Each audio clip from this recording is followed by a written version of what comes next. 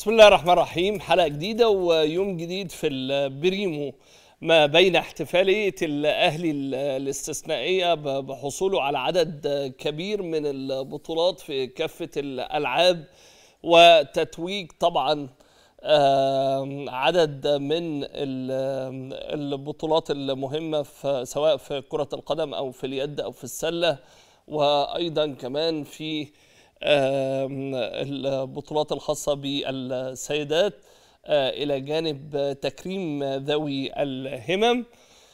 يرفض سيد عبد الحفيظ مدير الكرة بالنادي الأهلي حضور احتفالية ال- النادي الأهلي والتكريم رغم كل المحاولات اللي أجريت مع سيد عبد الحفيظ آه، خلال ال- الأيام الماضية لتواجده النهاردة آه، داخل الاحتفالية.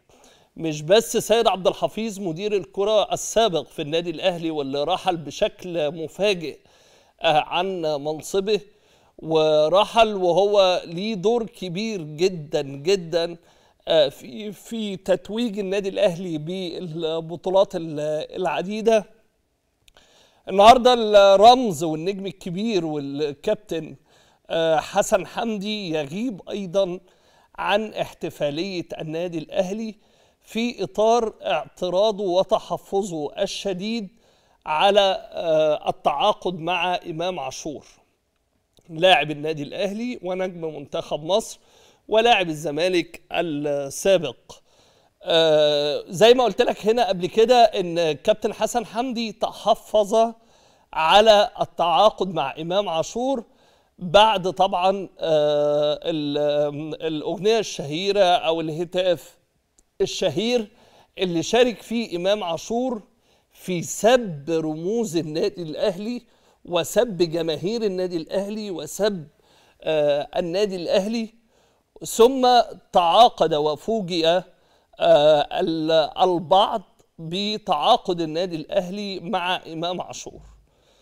من الوقت ده ومن اللحظة دي- آه، ديت أصبح في آه، ابتعاد أو فراق بين حسن حمدي اللي أعطى النادي الأهلي آه، الكثير والكثير ولو أنا دايما بقولها سواء بره الهوا أو جوه الهوا إن حسن حمدي هو أفضل رئيس في تاريخ النادي الأهلي.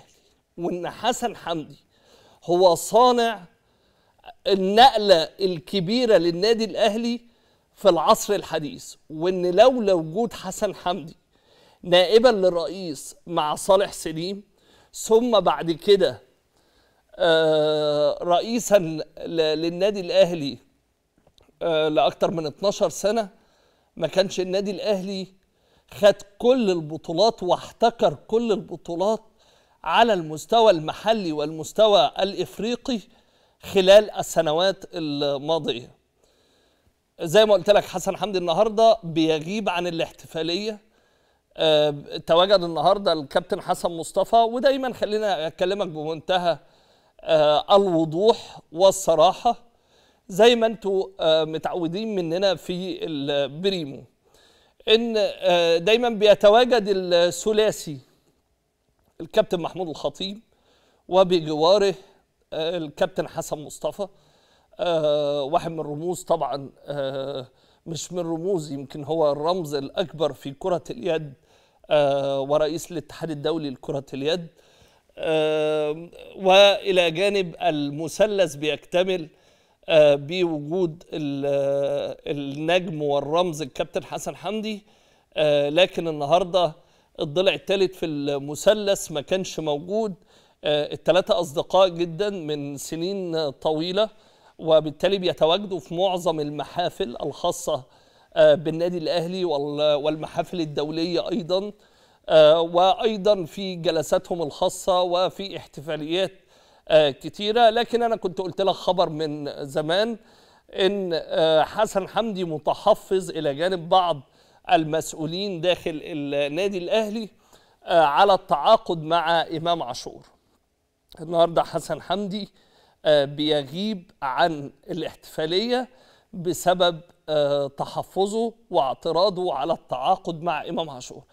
كلام كتير وكواليس كتير في احتفالية النادي الأهلي وفرض الاستقرار داخل نادي الز- الزمالك آه، بعد طبعا تعيين اللجنة المؤقتة برئاسة اللواء آه، حسن موسى ومشاكل وأزمات بدأت تظهر وخلي بالك هيكون في مشاكل وأزمات هتظهر خلال ال- الفترة المقبلة داخل نادي الزمالك. خلينا نشوف عندنا إيه ونرجع نكمل مع بعض.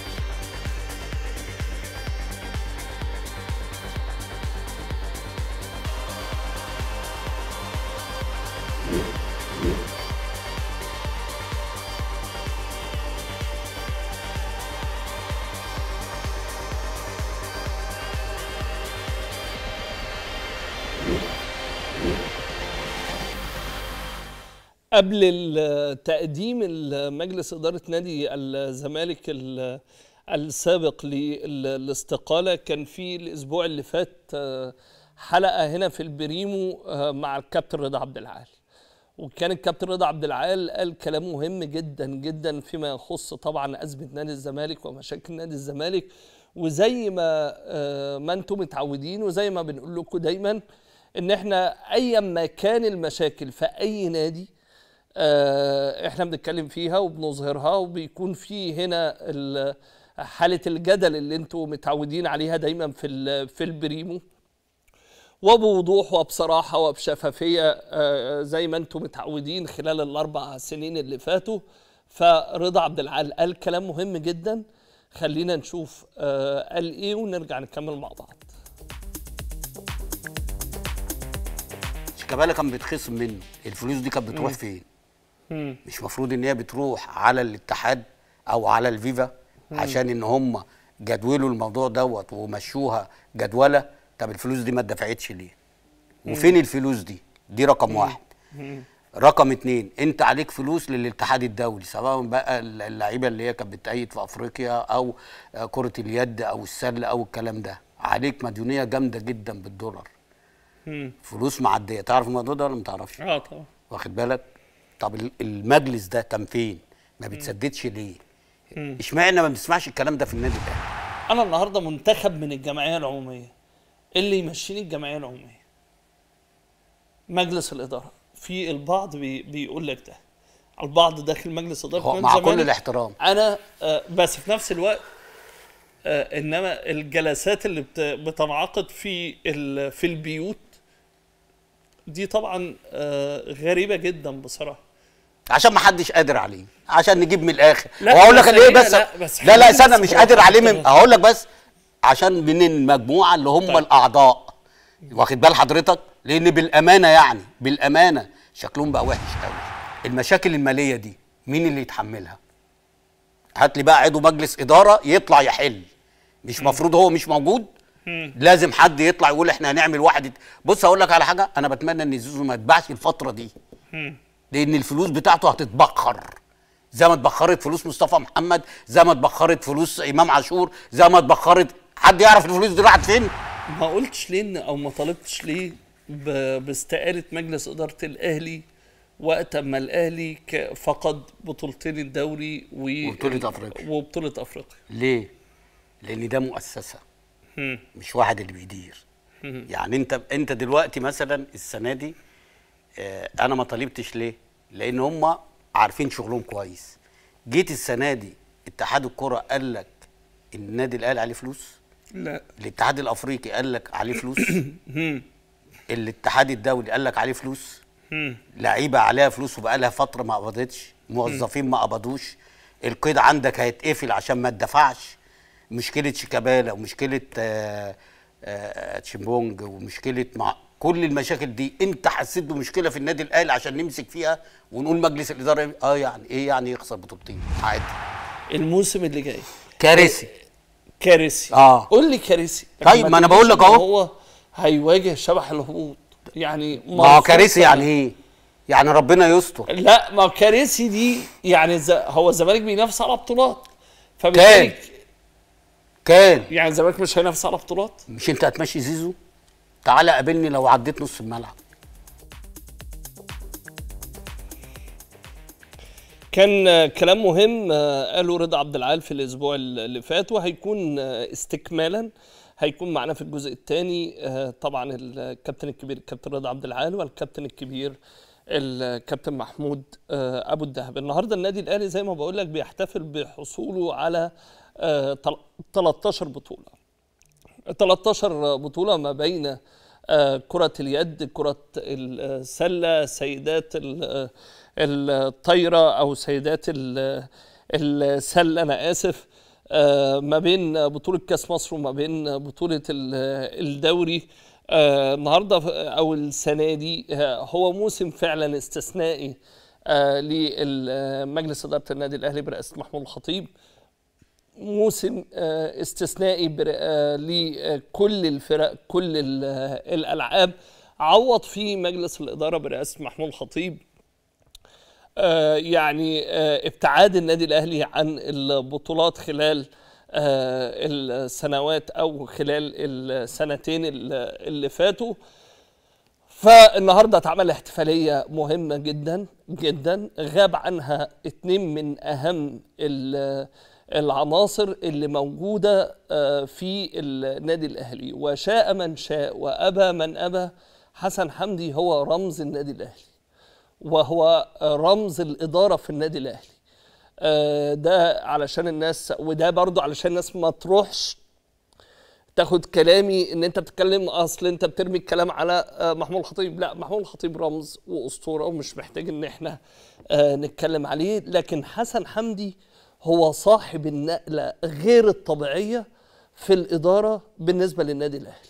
وزي ما قلت لك اللي عارف تاريخ النادي الأهلي آه، في الفترات اللي فاتت تطلع بقى تقول لي أصل كان بيعمل إيه ما بيعملش إيه.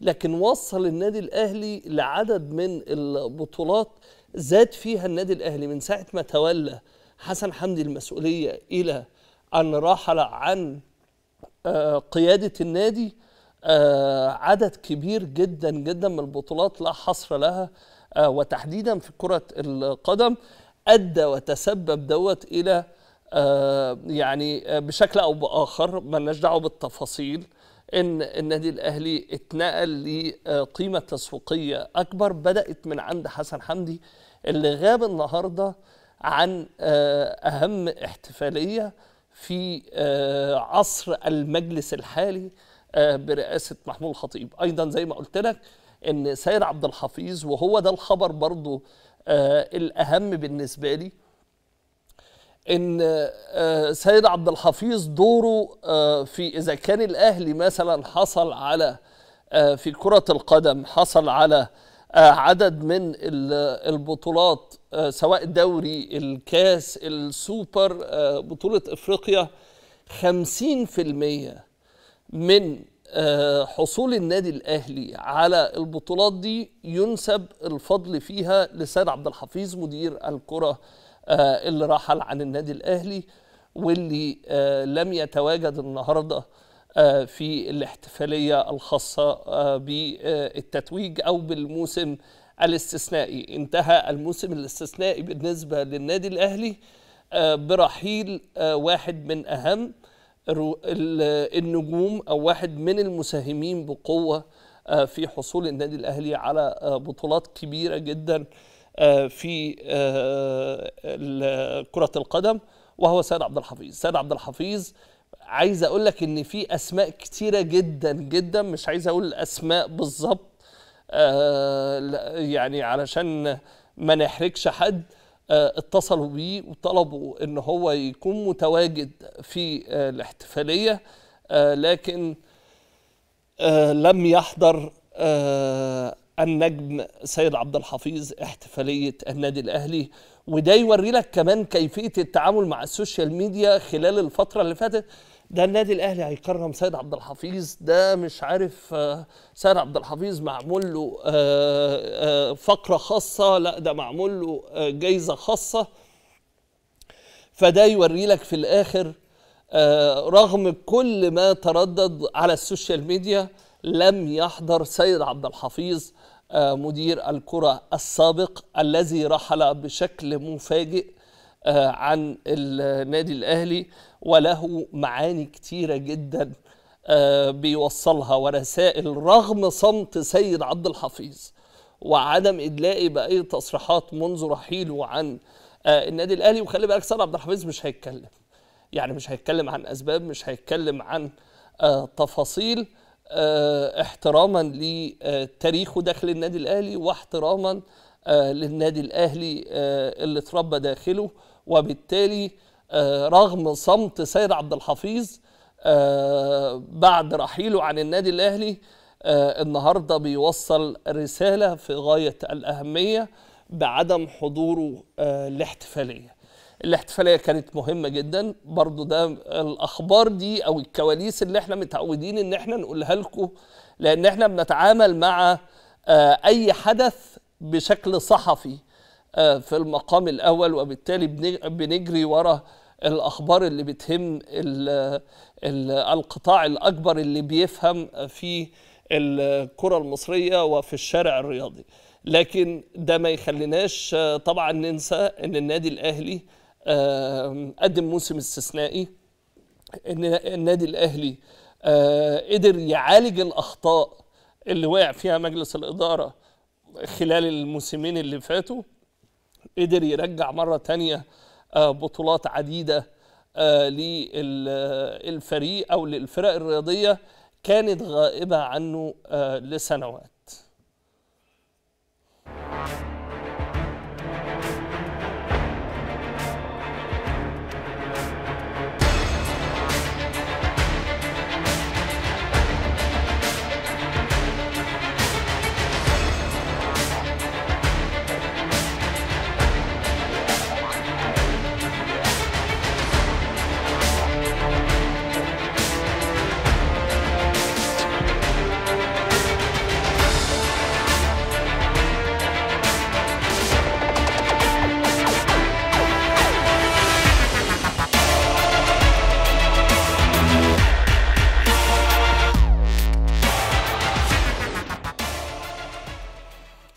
يمكن برضو من اللي ما حضروش ال- احتفالية النهاردة هو أيمن أشرف.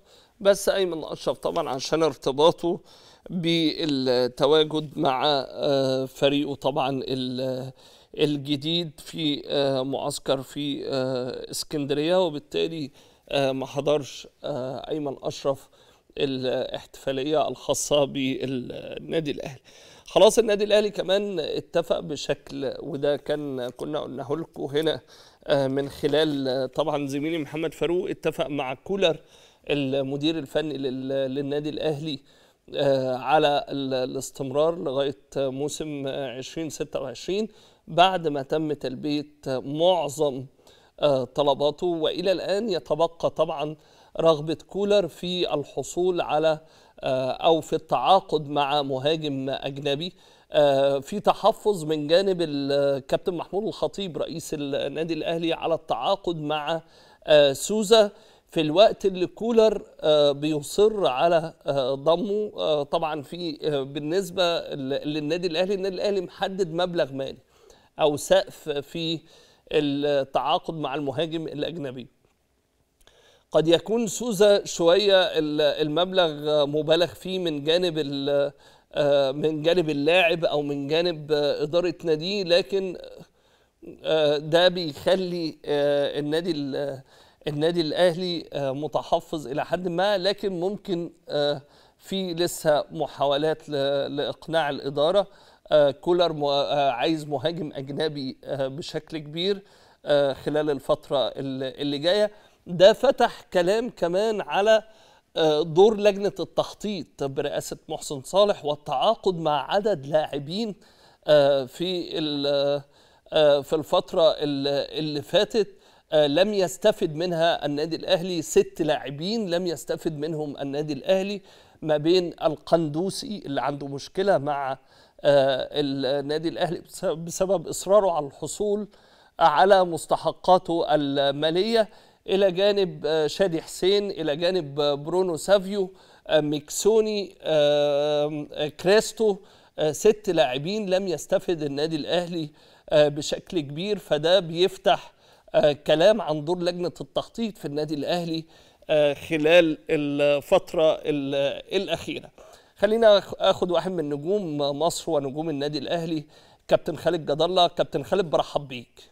برحب بيك يا إسلام وتحياتي ليك اولا النهارده الن- النادي الأهلي بيحتفل بموسم استثنائي بالنسبة له آه، بحصول معظم الفرق على بطولات آه، وصلت إلى 13 بطولة. طبعا إنجاز كبير وسنة أنا بعتبرها سنة يعني آه، هايلة آه، فرق النادي الأهلي على مستوى كل الألعاب قدروا إن هم يحصدوا تقريبا 95% من البطولات اللي اشتركوا فيها وده نجاح كبير جدا. لمنظومة النشاط الرياضي في النادي الأهلي وفريق الكوره طبعا آه، ورئيس النادي كابتن محمود الخطيب ومجلس الإدارة آه، نجاح كبير جدا من خلال هذا الموسم الاستثنائي اللي قدر النادي الأهلي على الصعيد فرقة الكورة إن هو يكسب خمس بطولات كل البطولات اللي اشترك فيها فده إنجاز كبير جدا ونتمنى مواصلة هذه الإنجازات بإذن الله.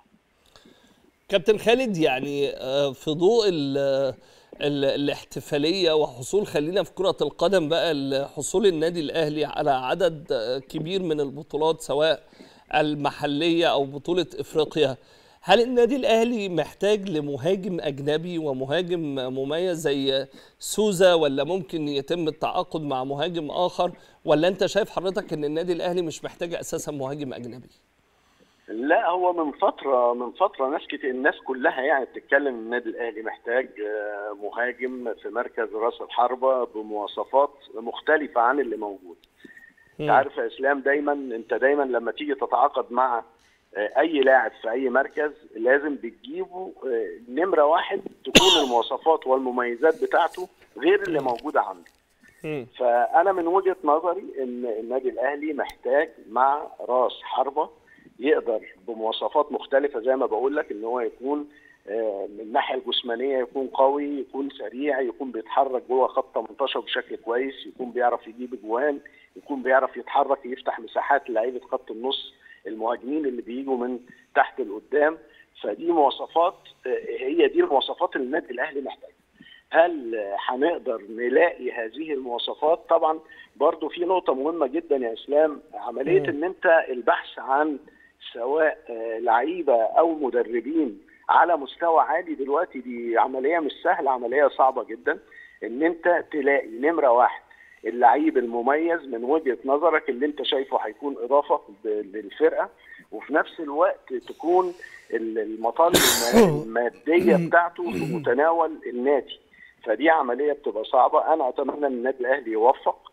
في استقدام أحد المهاجمين يكون على مستوى عالي عشان يدي إضافة لخط هجوم النادي الأهلي بالذات لو آه، النادي الأهلي طموحه زايد شوية في الحصول على مركز متقدم في كأس العالم للأندية أو المنافسة على الحصول على هذه البطولة لأن هو ده الهدف من وجهة نظري برضو الهدف النادي الأهلي بياخد دوري بياخد أفريقيا الهدف اللي يطلعك شوية خمس ست سلالم لفوق هو طبعا اشتراكك في كأس العالم للأندية. آه، فنتمنى بإذن الله إن النادي الأهلي يوفق في استجلاب راس حربة على مستوى عالي يفيد الفرقه طيب خليني أقول لحضرتك إن في تخوف من آه، البعض داخل النادي الأهلي في التعاقد مع آه، لاعب أجنبي مميز.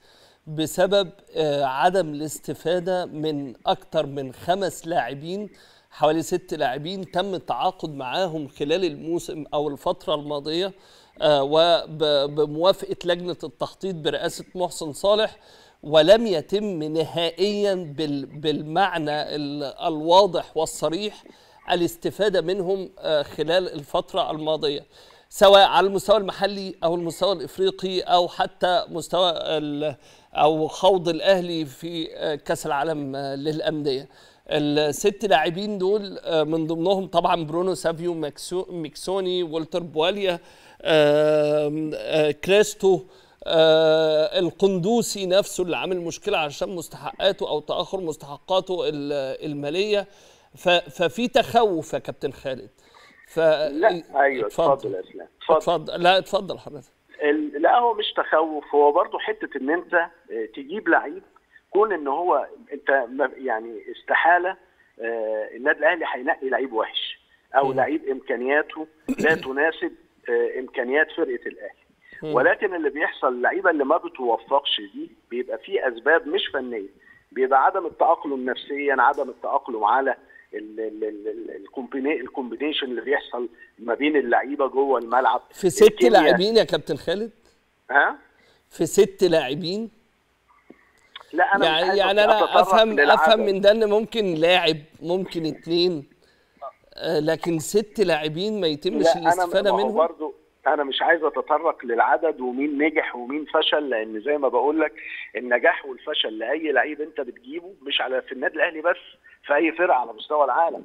تمام. ممكن تجيب لعيب كويس جدا وما يوفقش. الكيمياء بتاعته مش ماشية مع المدرب مع الفرقة مع اللعيبة اللي بتلعب جنبه. بيبقى في ظروف. هل نفسيا هو مستريح؟ هل عرف يتأقلم في الع- في العيشة اللي هو عايشها داخل النادي وفي مصر مثلا؟ بتبقى في حاجات كتيرة جدا آه، الطموح والدوافع اللي عند اللعيب. هل هو جاي عايز يثبت نفسه بعد ما جه ولا عايز إن هو خلاص بمجرد إن هو جه وعمل عقد وهياخد فلوس بيبتدي الدوافع عنده بتقل. فدي كل الكلام ده في في عوامل بتتوقف على اللاعب نفسه. إنما عملية الاختيار آه بيبقى الاختيار بيبقى مظبوط من من في في البدايات. ولكن ال ال ال بعد كده لما اللعيب بيجي بيبقى اللعيب هو اللي مسؤول عن إثبات نفسه اثبات ذاته. وإثبات نفسه قدام المدرب و- وإن هو يخلي المدرب يقتنع بيه عشان يشاركه.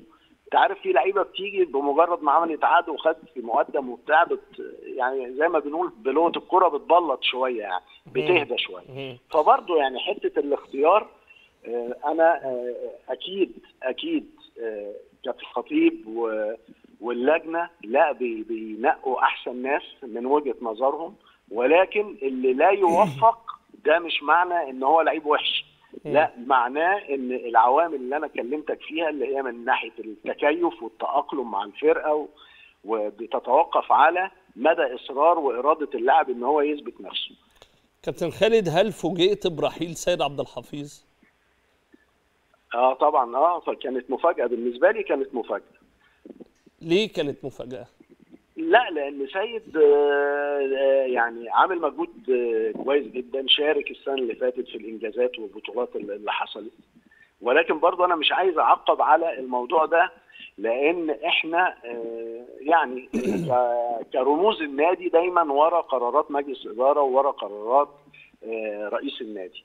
ولكن بالنسبة لسيد لأن سيد ده من من ولادي يعني. يعني أنا مرنته في منتخب مصر الأولمبي مع محمد فاروق يعني.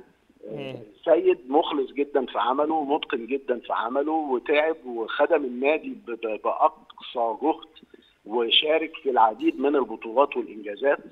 وده النهارده كابتن الخطيب شفنا في الحفلة إن هو شكره واتكلم عليه كويس. ودي من من عادة النادي الأهلي. وأنت عارف دايما النادي الأهلي ناس بتسلم ناس. يعني ما فيش حد هيفضل مدى الحياة في مكانه. لازم بيحصل فيه تغيير وبيحصل فيه الحاجة الكويسه إن برضه كابتن خطيب عايز يعمل كوادر جديدة للنادي كمستقبل للنادي فجاب خالد بيبو. فكل ده فكر هو هو هو البعض يعني في موضوع الكوادر الجديدة قال إن قال إن الكاب هو الكابتن خالد بيبو راجل نجم كبير وراجل محترم جدا واسمه كبير جدا وكان متواجد في قطاع الناشئين. آه، لكن قال إذا كان في فيما يخص كلمة الكوادر الجديدة إن الكابتن خالد بيبو أساسا أكبر من الكابتن سيد عبد الحفيظ. ف ولا هي مش متوقفة على السن يا كابتن خالد؟ لا هي مش متوقفة على السن. هو كادر جديد يعني اسم في الشغلانة لسه آه، آه جديد. بيبدأ يعني. بيبدأ. آه وأنت عشان دايما تعمل كوادر جديدة أنت أنت لازم تخلي الناس تبتدي وتحط نفسها على أول سلم وتاخد خبرة. من هنا يعني لو لو الدنيا هتقف على ناس معينة مش ما ينفعش. لازم التغيير ولازم التجديد. مش معنى كده إن هذا يقلل من قدر سيد عبد الحفيظ. سيد من أنجح مديرين الكورة اللي اشتغلوا آه، في النادي الأهلي. وهو خد وقته يمكن ربنا سبحانه وتعالى وقته خلص في ال- في الوقت ده. وأنا متأكد إن هو هينجح في أي كارير هو هياخده بعد كده. والتوفيق كله لخالد بيبو. خالد من الناس اللي بيحط رجله لسه على مستوى الفريق الأول أكيد هيكتسب خبرات زائد الخبرات اللي هو اكتسبها من خلال شغله في قطاع الناشئين وفي أكاديمية الكورة فهي دي سنة الحياة. كابتن خالد جد الله أنا بشكرك طبعا واحد من نجوم مصر ونجوم النادي الأهلي. النادي الأهلي النهارده خاطب اتحاد الكره علشان يعرف ميعاد السوبر والملعب اللي هيتلعب عليه وده تكرار لخطاب كان ارسله النادي الأهلي إلى جانب كمان إن في ترشيحات لمهاجم سيراميكا صامويل أمادي للتعاقد أو للتواجد داخل النادي الأهلي خلال الفترة المقبلة. خلينا نطلع فاصل ونرجع نكمل مع بعض.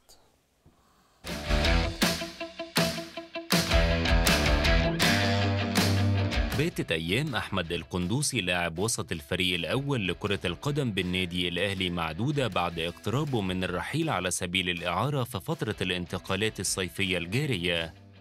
ومنح مارسيل كولر الضوء الأخضر لإدارة القلعة الحمراء برحيل أحمد القندوسي على سبيل الإعارة من أجل التعاقد مع مهاجم أجنبي في فترة الانتقالات الصيفية الجارية. وبيسعى النادي الأهلي لتكرار إنجاز الموسم المنتهي.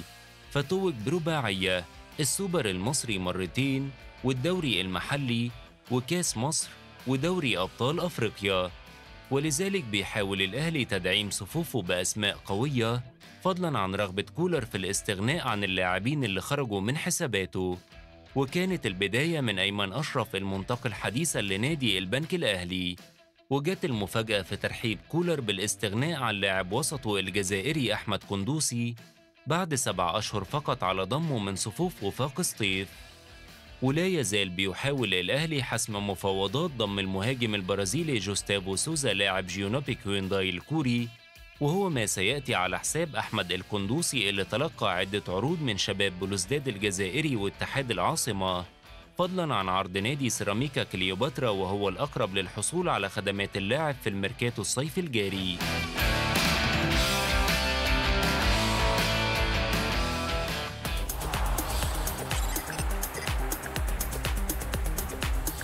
الشكر للدكتور أحمد أبو عبلة طبيب الفريق واللي كان واحد من الذين تم الإطاحة بهم بناء على رغبة كولر المدير الفني الحالي للفريق.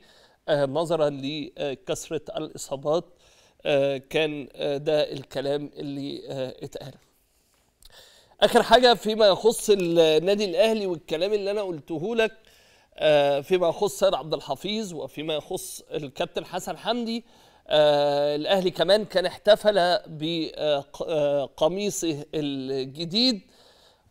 ده شيء كويس جدا وشيء هايل جدا إن النادي الأهلي بيحتفل بقميصه الجديد. لكن أنا الخبر اللي يهمني إن النجم صاحب الصفقة المدوية للنادي الأهلي وللكرة المصرية والصفقة الأبرز هو إمام عاشور. لم يتواجد إمام عاشور في التصوير للترويج أو حملة ترويج للتيشيرت أو القميص الجديد للنادي الأهلي وده بقرار من محمود الخطيب رئيس النادي الأهلي لأن إمام عاشور لما تواجد في مباراة الأهلي وحرس الحدود ما استأذنش إدارة النادي ولما طبعا تواجد واحتفل وكان آه بيعمل آه بعض التصرفات اللي فسرها البعض إنها استفزازية للنادي لناديه السابق أو آه لبعض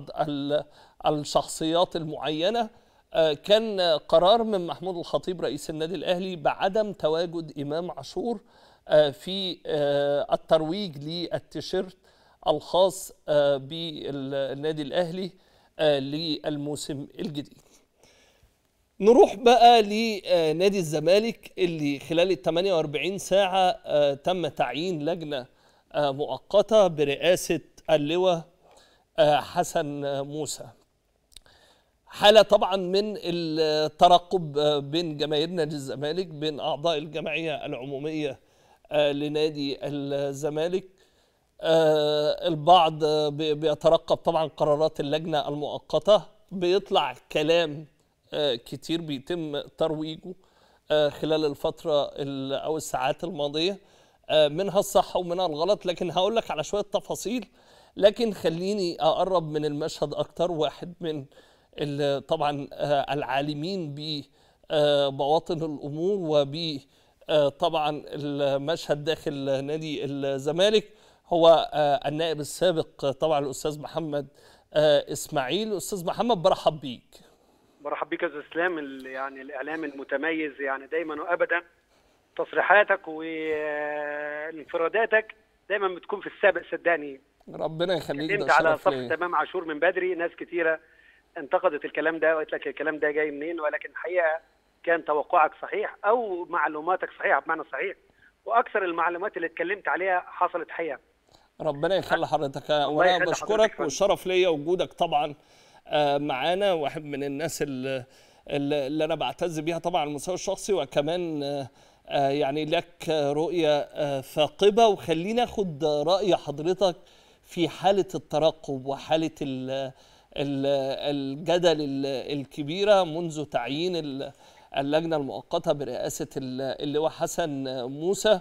وإحنا يهمنا آه، إن نادي الزمالك كمؤسسة كبيرة آه، يعود مرة تانية للبطولات وينهض آه، يعني من جديد خلال الفترة ال- المقبلة. فكيف ترى المشهد داخل نادي الزمالك؟ اولا اسمح لي يا اسلام الملف ده على فكرة من الملفات الشائكة جدا. نادي الزمالك ليه فترات طويلة جدا. أنا مش مش بعتبره سنة أو اثنين وثلاثه يعني منذ اللجان السابقة ومن قبلها مجلس الإدارة وهو بيعاني على فكرة من مشاكل متعددة واختلافات ما بين أبناء نادي الزمالك كان نتاجها إن الزمالك يعني خرج خالي الوفاض من من بطولتين. نادي الزمالك فقد لعيبة مهمة جدا يعني على الرغم على فكرة من الطفرة اللي حصلت في الإنشاءات داخل نادي الزمالك. لكن مهم جدا إذا كنا إحنا بالفعل بندور على صالح نادي الزمالك نتكلم عن المرحلة المستقبلية. اللجنة دي بتسمى لجنة مؤقتة بتدير شؤون نادي الزمالك في فترة وجيزة إلى أن تعلن عملية انتخابية من خلال دعوة الجمعية العمومية ل يعني انتخابات جديدة على كافة المناصب مع استقالة المجلس السابق. أنا أتمنى نادي الزمالك الفترة اللي جاية إن إحنا نشوف حذو مختلف تماما. اللي جاي مش جاي يتكلم على أخطاء السابق إن أنا النادي ده كان مفرغ النادي عليه مدنيات النادي عليه مشاكل حضرتك انت مش جاي تنقل المشاكل حضرتك جاي تدرس المشاكل والموارد المتاحة داخل نادي الزمالك وجاي النهارده تلملم يعني شتات الزمالك وتوحد كلمة الزمالك ما بين أبنائه. لازم وابدا ما يكونش فيه دايما اللهجة الانتقامية اللي إحنا دايما بنشوفها. كلما راح الفريق الفريق الثاني يبدأ يقول لك فلان خرب لا ده كذا. لازم تنتهي الحدوتة دي داخل نادي الزمالك. ولينا عبرة نشوفها لما حصل مجلس محمود طاهر. كان مرة أقيل يا أستاذ إسلام كده والكابتن محمود الخطيب كان المفروض يتولى رفض الكابتن محمود الخطيب وكمل يعني الأستاذ محمود طاهر وعمل إنجازات حقيقية حدثت للنادي الأهلي غير الصفقات اللي كانت مدوية في تاريخ النادي الأهلي وحققت نجاحات كبيرة جدا. النادي الأهلي برضو كان عنده أزمة محمد عبده صالح الوحش وما تمش إكمال يعني مجلسه وحصل مجلس جديد ما شفناش أي رئيس مجلس جه يتكلم على المجلس السابق والمشاكل وفقدان بطولة الدوري والكاس والأمور ده. الزمالك بالفعل لو عايز ينهض من تلك العصرة لازم ابدا يبدأ يفكر في ابنائه المخلصين اولا. والناس اللي جاية يكون عندها رؤية حقيقية لانتشال الزمالك من أزماته المالية اولا. ولملمة صفوفه وجراحه من الداخل. حتة مهمة جدا. الا ينبش أحد في الماضي مرة تانية. كل اللي هم عشمانين وكل اللي هم يعني طمعانين إن هم يسندوا الزمالك في المرحلة اللي جاية أو يكونوا فعلا طوق النجاة لنادي الزمالك إذا كانوا هم بالفعل مخلصين لهذا الأمر لازم ابدا نتخلى عن تشويه أي صورة أو عن المرحلة السابقة كانت إيه. خلاص أنت عارف الزمالك وعارف مشاكله وعارف اللي مر عليه من أزمات مالية وعارف كل تلك الأمور. وأزمة الضرائب واللعيبة والتجديدات والرواتب ومشكلة الفرع الجديد يبقى أنت ترتب تعمل إيه؟ أنت عندك نادي غني باكثر من 100 ألف عضوية يعني اشتراكاتها السنوية قد إيه؟ عندك محلات تجارية إزاي تطورها وإزاي تحقق منها إيرادات؟ عندك ألعاب إزاي تحقق منها إيرادات؟ عندك النهارده تقدر يكون في عندك ريسبونسر أو يعني نقدر نقول تعاقد الزمالك باسم الزمالك الكبير هيدخل للنادي قد إيه؟ هستفيد إيه بقطاع الناشئين؟ هستفيد إزاي باللعيبة النهارده في في الاحتراف مع مع المحافظة على قوام الفريق؟ لازم يكون عندي رؤية يعني رؤية تطويرية للنادي. رؤية إزاي إصلاحية إن أنا أجمع الكل الكلمة على كلمة واحدة تانية. بلاش حتة إن أنا ده كان على فريق ممدوح عباس ده على فريق مرتضى ده على فريق كذا اطلاقا. الكل النهارده وهو بيشتغل ويشوف مين الأصلح ومين الأنسب للمكان في هذا التوقيت.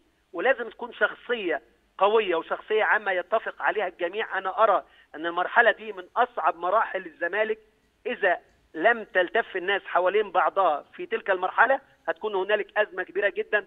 هيكون في تشويه غير عادي للمرحلة المقبلة. فبالتالي أنا ما بقول للناس مرحلة اللجنة المؤقتة دي اللي هي هتدير النادي إلى إلى الدعوة لجمعيه عمومية من أجل يعني انتخابات كلية على منصب الرئيس حتى منصب العضويه تحت السن لازم ابدا نبدأ نفكر في الطروحات واللي بيطرح يكون عاقل واللي بيطرح قبل ما يطرح رؤيته لأبناء الزمالك يطرح رؤيته إزاي النهارده يحقق إيرادات إزاي النهارده هيقدر يوفر يعني إيرادات مادية في ظل الظروف الصعبة جدا لانتشال فريق الكورة اللي هو مهم جدا فرق الصالات اللي الزمالك محقق فيها بطولات حقيقية. لعبة اليد الزمالك مميزه المميز فيها إزاي يحافظ على اللعيبة اللي في الداخل إزاي في نفس الوقت النهارده ان أنا اجعل كل رجال الاعمال وكل المستثمرين ينظروا إلى نظرة الزمالك نظرة مستقرة نظرة مختلفة. لكن إذا سمحنا إن إحنا ناكل في لحم بعضينا في الزمالك نفضل نقطع ده يقطع في ده وده يقطع في ده النتيجة إن الزمالك هيفضل في أزمات متوالية. وده اللي دايما كنت أقوله وكنت أتكلم فيه أقول يا جماعة ولا تنازعوا فتفشلوا وتذهب وكانت دايما نصايحي على فكرة وأنا كنت موجود قريب في فترة ما ولما حسيت إن الناس بعيدة عن بعضها ابتعدت تماما عن المشهد لأن كان كنت دايما أتمنى لغة واحدة أتمنى إن الجميع يعمل لصالح لصالح نادي الزمالك. ما حدش يحط نفسه حكم ده ينفع أو ده ما ينفعش. الزمالك في أزمة حقيقية محتاج ابنائه المخلصين محتاج رؤية حقيقية ومصالحة حقيقية دون الأطماع. أطماع في في مقاعد ده يبعد فلان وده يبعد فلان. أهم حاجة يعني سيمفونية تعزف في حب نادي الزمالك تكون النتيجة إن الزمالك ال- الطرف الأساسي في المنافسة الطرف الأساسي مع النادي الأهلي في دعم المنتخبات يكون موجود وبقوة على الساحة. لأن أنا أظن إن الزمالك لما بيكون فرقة فايقة المزاج العام في الرياضة بتحس بيه لما تلقى كل الكافيهات وكل المطاعم وكل التلفزيونات. الناس كلها بتتفرج على مباراة للأهلي مباراة للزمالك مباراة للأهلي والزمالك مع بعضهم في منافسات أفريقية في منافسات كأس العالم للأندية وغيرها. وده اللي أتمناه الفترة المقبلة. يعني حقيقي حقيقة يا أستاذ إسلام أتمنى الإعلام بعد ما حصل استقالة المجلس.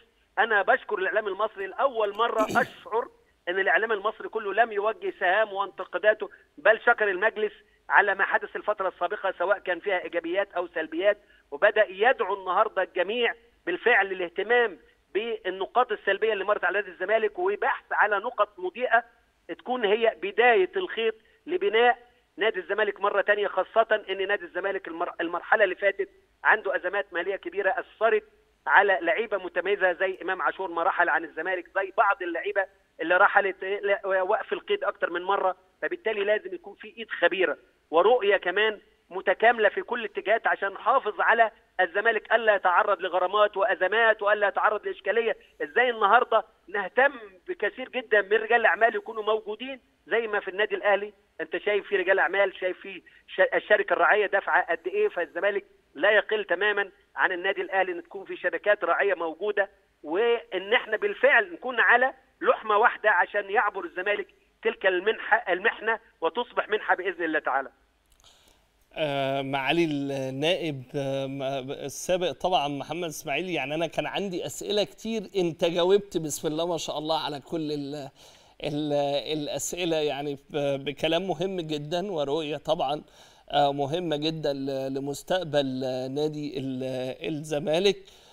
وأعتقد إن ده هيكون الدور الأكبر على الجمعية العمومية خلال الفترة المقبلة. طبيعي يا أستاذ الجمعية العمومية لابد النهارده تدقق في اختيارها. ما يكونش ابدا اختيار عصبي يعني أنا هختار فلان عشان عكس فلان. أو ده اطلاقا وأي حد النهارده لازم يكون له برنامج ويكون له رؤية. وأهم حاجة برنامجه على فكرة يقول أنا إيدي ممدودة للجميع لا إقصاء في الزمالك على الإطلاق. هنستفيد بخبرات الجميع هنستفيد برؤية الجميع خاصة الرؤية الاقتصادية إن الزمالك النهارده موجود في مكان متميز يعني عنده عنده أماكن النهارده ومحلات تجارية يقدر يحقق منها أرقام كبيرة جدا. الفرع الجديد على لو اتعمل برؤية استثمارية واتعملت محال تجارية وهو في منطقة متميزة في حدائق أكتوبر صدقني الفرع هيقدر يحقق إيرادات كبيرة جدا. نقدر إن الفرع ده من خلال عضوية نادي الزمالك يدخل أكتر من 2 3 مليار يتم إنشاء بيها صرح لنادي الزمالك لنادي الزمالك يستحق يعني فرع واثنين وثلاثه اللي هو يمثل أكثر من 30 40% من أبناء الشعب المصري. وبالتالي أنا أرى حقيقة أن الزمالك يحتاج المخلصين من أبنائه بالفعل اللي هم عندهم رؤية استثمارية تستطيع توفير الكثير جدا لأبناء نادي الزمالك دون الانزلاق لإشكالية إن أنا ما عنديش فلوس أنا عندي أزمات مالية أنا عندي كذا أنا عندي كذا لازم يكون في استثمار حقيقي للرياضة داخل مصر. وأنا شايف نادي الزمالك اسمه اسم كبير نقدر نحقق بيه كتير ونقدر نحقق بيه إيرادات غير عادية لأن اسم الزمالك اسم يبيع كويس اسم له قبول لدى جماهير الكرة المصرية بشكل كبير لأن هو بالفعل يعني أحد يعني أهم الفرق الموجودة في مصر والفرق والفرق الأفريقية فبالتالي أنا بقول لك الزمالك فرقة كبيرة جدا موجودة في الدول العربية وبقوه وبالتالي الزمالك يستطيع تحقيق الكثير. النائب السابق الأستاذ محمد إسماعيل بشكرك طبعا وقال كلام مهم جدا آه، في آه، النهوض بواحد من أهم المؤسسات الرياضية في الشرق الأوسط آه، هو نادي الزمالك. نادي الزمالك زي ما قلت لك وأنا قلت لك الحلقة اللي فاتت الأهلي والزمالك دول آه، هما ال يعني العنصرين المهمين جدا مش في الرياضة المصرية في الرياضة العربية ودايما بيكون آه، ليهم آه، دور. فبالتالي لما بيقع آه، أي نادي من الاثنين لابد من إن الكل يتكاتف ل آه، إعادة مرة تانية آه، هذا النادي. الفترة اللي فاتت كان النادي الأهلي بيعاني من مشاكل وبيعاني من أزمات قدر إن هو من خلال آه، أبنائه ومن خلال مجلس إدارته من خلال آه، المسؤولين إن هو يعود النهاردة بيحتفل بموسم استثنائي آه، بيحصد ب 13 بطولة. نفس الأمر آه، نادي الزمالك في الفترة ال- الأخيرة في الموسم الأخير. لم يحصد آه، بطولات آه، كتير لكن في مواسم سابقة آه، حصل على بطولتين دوري حصل على الكونفدرالية.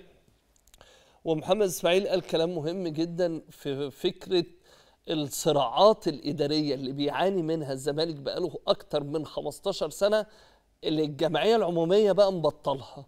وللرجالة اللي هتترشح أيا كان تبطلوا بقى أصل مرتضى عمل أصل ممدوح عباس آه، هو السبب أصل مش عارف الصراع ما بين الاتنين أصل يعني إما إنك أنت للي داخل انتخابات نادي الزمالك إما إنك أنت تبقى قد نادي الزمالك قد كرسي نادي الزمالك يا إما ما تدخلش يا إما ما تبقاش موجود.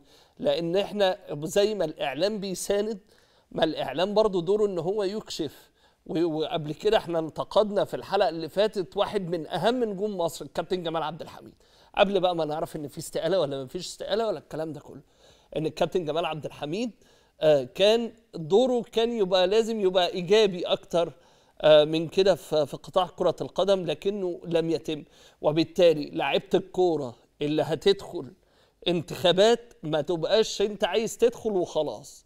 أنت عايز تدخل يا إما يبقى ليك رؤية يا إما ما تدخلش انتخابات مجلس إدارة نادي الزمالك. نفس الأمر لأي مسؤول أو أي مرشح هيدخل آه، الانتخابات. يا إما يبقى عندك رؤية اقتصادية لأن نادي الزمالك محتاج الفترة اللي جاية كمان. أوعى تفتكر إن هو محتاج رياضيين بس. لا ده محتاج فكر اقتصادي. الفكر الاقتصادي يتمثل في كيفية استغلال الموارد خلال آه، ال- الأربع سنين اللي جاية.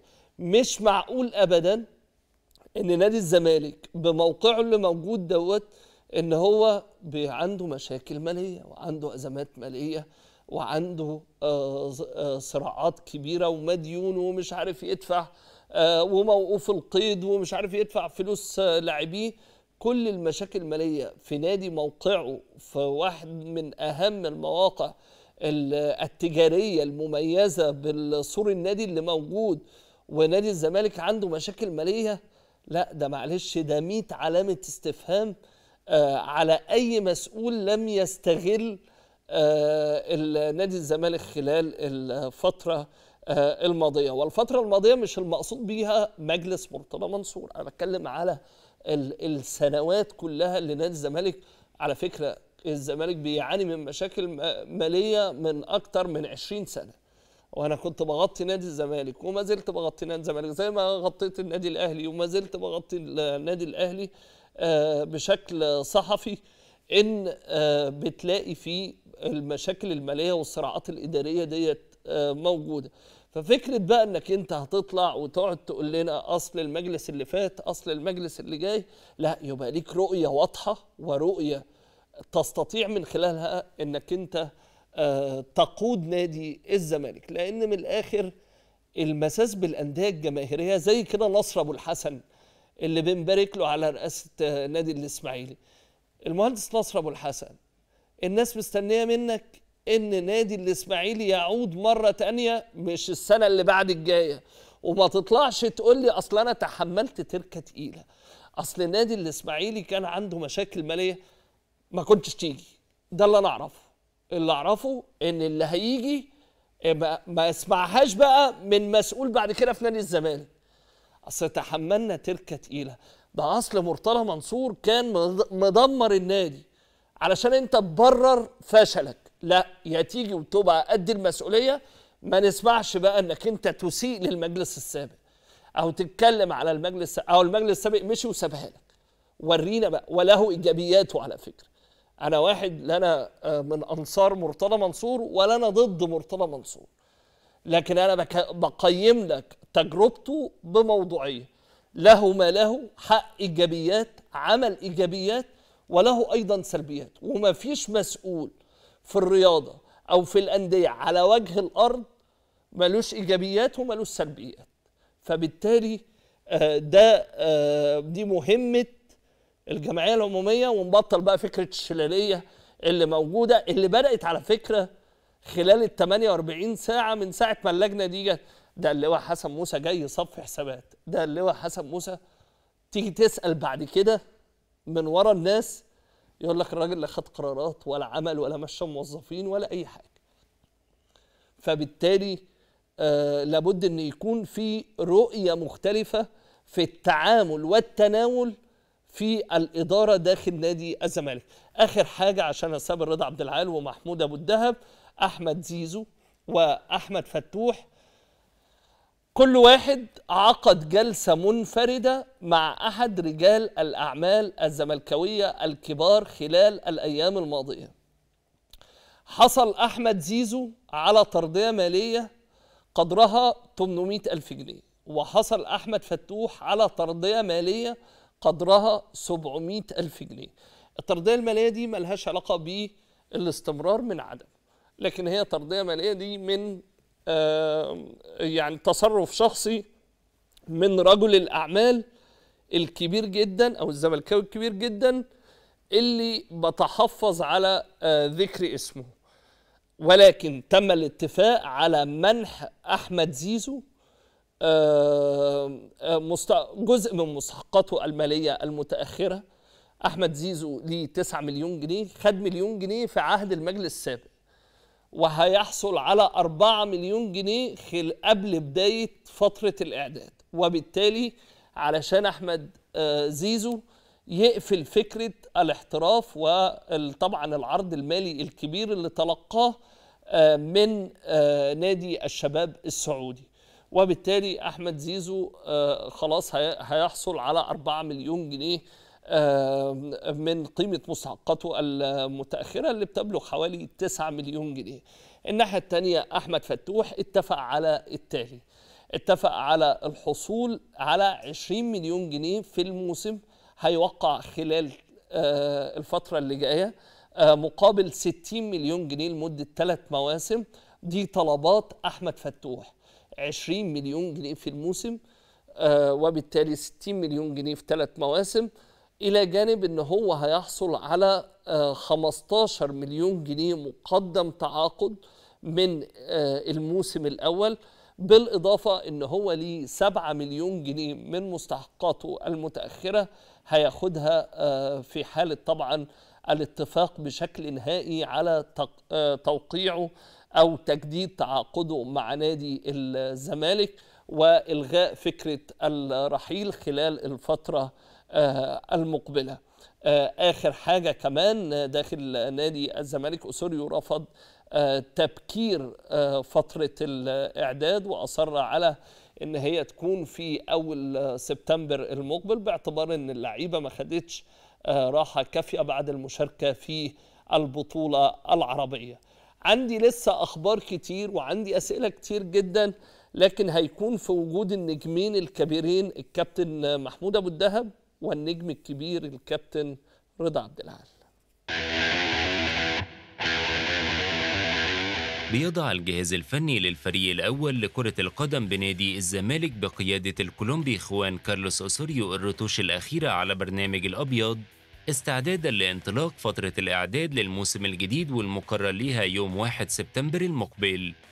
وهيعقد المدرب الكولومبي اجتماع مع اللجنة الثلاثية المكلفة بإدارة شؤون الزمالك خلال الساعات القليلة القادمة لمناقشة بعض الأمور الخاصة بالفريق وعلى رأسها فترة الإعداد ومستحقات اللاعبين وآخر تطورات أزمة إيقاف القيد.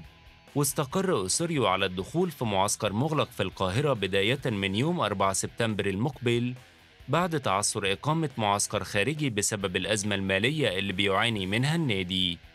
الجهاز الفني أخطر اللاعبين بالخضوع لفحوصات وقياسات طبية بعد عودتهم للتدريبات الجماعية رغبة منهم في الاطمئنان على البرنامج الغذائي اللي تم وضعه للاعبين خلال فترة الراحة السلبية ومدى الحالة البدنية للاعبين قبل انطلاق الموسم الجديد.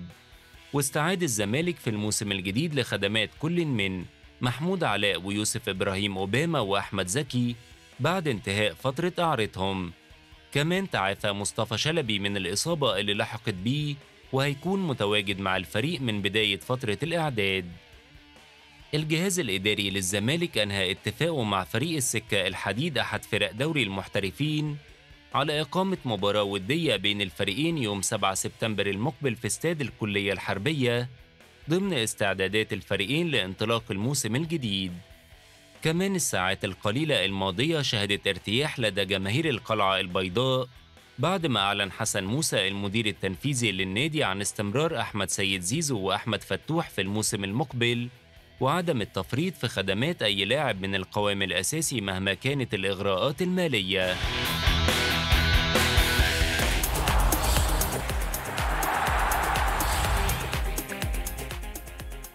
انضم لي اتنين طبعا من نجوم مصر وهم طبعا نجوم ال- البريمو النجم الكبير الكابتن محمود أبو الدهب كابتن أبو الدهب برحب بيه برحب بيك يا إسلام. والنجم الكبير الكابتن رضا عبد العال أفضل محلل في الوطن العربي والمجادل الكبير وصاحب الآراء الساخنة. لسه في حتة القطر. آه والقطر كله. بس ما تنساش. وأفضل محلل في القطر كله في التاريخ وفي العالم العربي والعالم اجمع لا كفاية كده. لا. كفاية كفاية كده. هنكمل بقى. لا كفاية كده يا إما أقوم أمشي. لا. ما أنت قلت كله. لا ما أنت لازم آه، هنقول إيه بعد الكلام ده؟ أنت تقول اللي أنت عايزه يا كابتن رضا. حبيبي يا أستاذ إسلام منور ووحشني. وابو الدهب كان وحشني حبيبي يا جدا كابتن. وربنا يوفقك إن شاء الله السنة دي بقى وتصعد. إن شاء الله بإذن الله. إن شاء الله بإذن الله. الله. إن شاء الله. كابتن أبو الدهب آه، مبروك الاحتفالية النهارده. آه، احتفالية ب 13 بطوله مجلس الإدارة يمكن حصد آه، أو يعني عوض أو اتعلم من أخطاء كان ممكن وقع فيها تسببت في إن هو يبتعد عن بطولات في الموسمين اللي فاتوا. لكن بيقدر في الموسم المنقضي إن مش في كرة القدم بس لكن في كل الألعاب.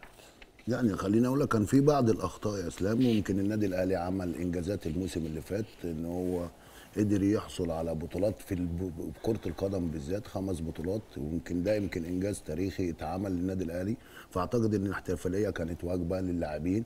لكن خليني أقول لك إن في ناس ساهمت كتير جدا. أنا كان بالنسبة لي عدم وجود سيد عبد الحفيظ وده كان صاحب إنجاز كبير جدا إن هو ما يشاركش في الاحتفالية إن هو كان يبقى غير موجود. لكن أنا بقول يمكن أنا قلت اللعيبة ديت ممكن تكتب تاريخ كتير كبير جدا في النادي الأهلي. لو حصلت حصلت على خمس بطولات ولسه في ثلاث بطولات جايين تاني يا إسلام في الفترة اللي جاية. إن أنت تحصل عليها الفترة اللي جاية فأكيد النادي الأهلي بيعمل تاريخ كبير جدا واللعيبة والجهاز والإدارة. في الفترة ال- ال- المقبلة إن شاء الله.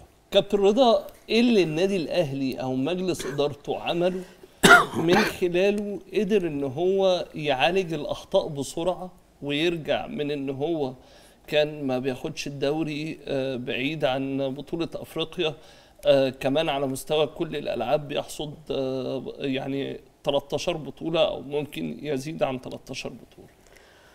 هو أهم أهم سبب إن هو حافظ على اللعيبة اللي كانت في الموسم اللي قبل اللي فات اللي كله طلع بنغمة يمشي 10 لعيبة ونجيب 20 لعيب.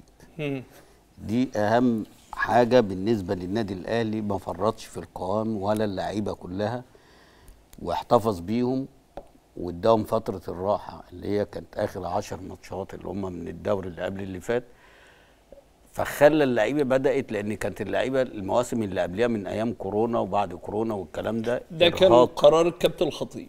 ما أنا بقول لك عشان كده يحسب له إن هو حافظ على القوام ما سمعش كلام الناس اللي كانت بتطلع تهبد وإحنا قلنا هنا. ما فيش ولا لعيب يمشي لأن النادي الأهلي صعب إن يعوض لعيبة بال بال بالقيمة دي. آه. بالقيمة دي لأنك أنت لعيبة وصلت للخبرة وصلت لإن إزاي بتعرف تجيب بطولة آه، آه، آه، بتقدر تسيطر على اللعيبة اللي حواليها في الملعب على هتافات الجماهير على ال social media على لعيبة خلاص خدت على الجو ده.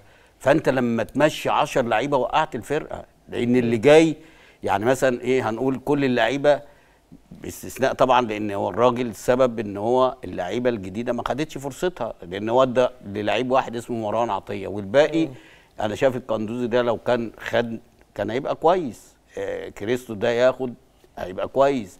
شادي حسين لو كان خد كان هيعوضك على وأنا بقول لك الكلام ده عن ثقة عن ال- المهاجم الأفريقي اللي أنت الوهم اللي أنت عمال مستني تجيب واحد يجي يعوض لك ال... لا كان شادي حسين اللي هو ماليش دعوة بمين بس أنا بكلمك على مين؟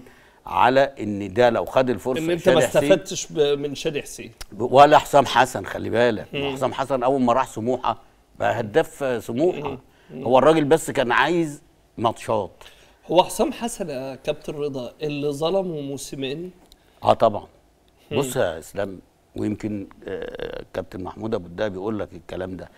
أي واحد بيروح أهلي وزمالك في البداية بيتخض. بيبقى لا خض إيه؟ بيحلم إن هو يلعب يبقى رقم واحد في في المكان بتاعه. بس ده لو جاي من نادي جماهيري يا كابتن. بغض النظر. يعني زي حضرتك مثلا. لا لا طب طب هقول لحضرتك ما في لعيبة أيامنا ما كانتش جاية من أندية جماهيرية بس جت حطت رجلها في الملعب.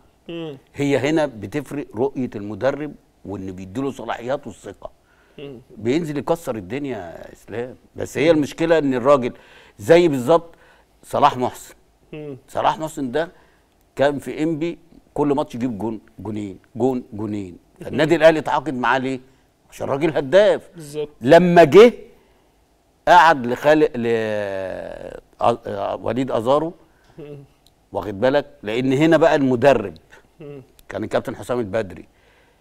فهو عايز ينجح الصفقة اللي جايبها. لأن صلاح محسن جاي مجلس الإدارة اللي جايبه. إنما مين اللي كان شاف آه، وليد أزارو؟ كان الكابتن حسام وهو اللي قال لك يجي. فعايز ينجح الصفقة دي. ملوش دعوة بالصفقة اللي جايبها النادي الأهلي. مع العلم إن الاثنين لو هو آه، يعني بطريقته لاعب الاثنين كان هيستفاد. لأن الاثنين عندهم سرعات الاثنين بيعرفوا يجيبوا جوان. وده كانت هتفرق كتير قوي. يشيل حد من نص الملعب. بقى أنت طول عمرك بتقول إيه؟ كنادي أهلي أو زمالك أنت عايز تكسب. طبعا. فعشان أكسب يبقى القوة الهجومية عندي أقوى. نص هتكسبني. وال وال وال- ده بالذات. الاثنين اللي بيعرفوا يترجموا طبعا. من نص فرصة واحد سريع والتاني أسرع. واخد بالك؟ لما أي كرة طايشة بتروح هم يروحوا يجيبوها لك ينجحوها لك. فالمشكلة بقى إن هنا الكابتن حسام يعني عايز ينجح صفقته وما بص... ف... قتل طموح الراجل اللي جاي لأن قعد ماتش واثنين وثلاثه فأنا أنت بقى من الأسباب اللي خلت النادي الأهلي السنة دي. ياخد كل ال... أنا ماليش دعوة بال... بالألعاب التانية. أنا ليا في كرة القدم. تمام. إن هو حافظ على القوام القديم. واداهم الراحة. عشان كده المردود بتاع الراحة دي السنة دي شوف لعيبة النادي الأهلي. كانت السنة اللي فاتت اللي هي اللي حصل فيها الإخفاق واللي قبليها كنت بتلاقي كل ماتش اتنين تلاتة مصابين. كل ماتش. ليه؟ لأن الإرهاق كان عالي قوي الماتشات ما بيريحوش. وطبعا المعلم موسيماني كان بايه ملوش دعوة ما عندوش حاجة اسمها تدوير اللعيبة ولا إن هو لا كان بي يعني كان جبان جدا في الحتة دي. يلعبه وهو لسه ما اكتملش شفائه أو هو مصاب أو هو مرهق. فعشان كده اللعيبة كانت على طول إصابات إصابات ويجي يقول لك الدكتور. لا مش الدكتور. لأن اللعيبه دي ماتشات بيلعبوها ماتشات وديه بيلعبوها تمارين بيلعبوها كاس عالم بيلعبوها دوري عام بيلعبوها افريقيا بيلعبوها. هلك اللعيبه. فطبعا اللعيب مش مكنه. فكان دايما تلاقي السوليه مصاب حمدي فتحي مصاب مش عارف مين مصاب مين إيه. فعشان كده حصل الخلل. لما اللعيبة دي ارتاحت السنة اللي فاتت مين اللي كان مصاب؟ يا إما السوليه يا إما مثلا على فترات حمدي فتحي والباقي كله في الملعب. علي معلول أكبر واحد سنا ورغم كده ما اتصابش إلا حاجات بسيطة غير السنة اللي قبليها واللي قبليها. واخد بالك؟ فدي ميزة من ضمن الميزات اللي هي خلت النادي الأهلي تاخد بطولة الدوري وأفريقيا والكلام ده إن اللعيبة ارتاحت الموسم اللي فات في الآخر جت بعد كده ال- ال- المستوى اللي إحنا شفناه وال- والخبرة بتاعت اللعيبة. خلي بالك في ماتشات كتيرة خبرة اللعيبة هي اللي حسمتها. بس. طيب كابتن أبو الدهب آه الأهلي تعاقد مع إمام عاشور. تعاقد مع رضا سليم رجع كريم ندفد و آه محسن. وحتى الآن برضو صلاح محسن آه يعني انتهت إعارته لسه بقى هنشوف إذا كان هيكون موجود الفترة الجاية آه مع الفريق ولا إيه ولا ممكن يتم برضو آه يرحل عن النادي الأهلي. لكن هل الأهلي محتاج فعلا مهاجم أجنبي؟ هل محتاج صفقات تانية ولا لأ؟ لا هي يمكن ده أسلام. أنا دايما إحنا يعني إحنا لعبنا في النادي الأهلي والكابتن رضا عارف الكلام ده. أنت محتاج قوة النادي الأهلي في الرأس حربة اللي موجود. أنا أنا أنا, أنا كل الموجودين فرض عبد العال بيقول لك مش محتاج مهاجم. لا مش مش لا إزاي؟ يعني. أنت لا بص يا إسلام أنت يعني لو كان الزمالك- قعد شادي حسين. الزمالك والأهلي بس شادي حسين أنت يعني بعد إذنك يا ابو أنا قصدي إن أنت لو هتجيب مهاجم أجنبي هاته سوبر. ما هو سوبر دي يعني فلوس يا أخي. طيب يبقى ما تجيبش أي حد. ما أنت جبت ب 3 مليون. برونو سافيو وما نفعش.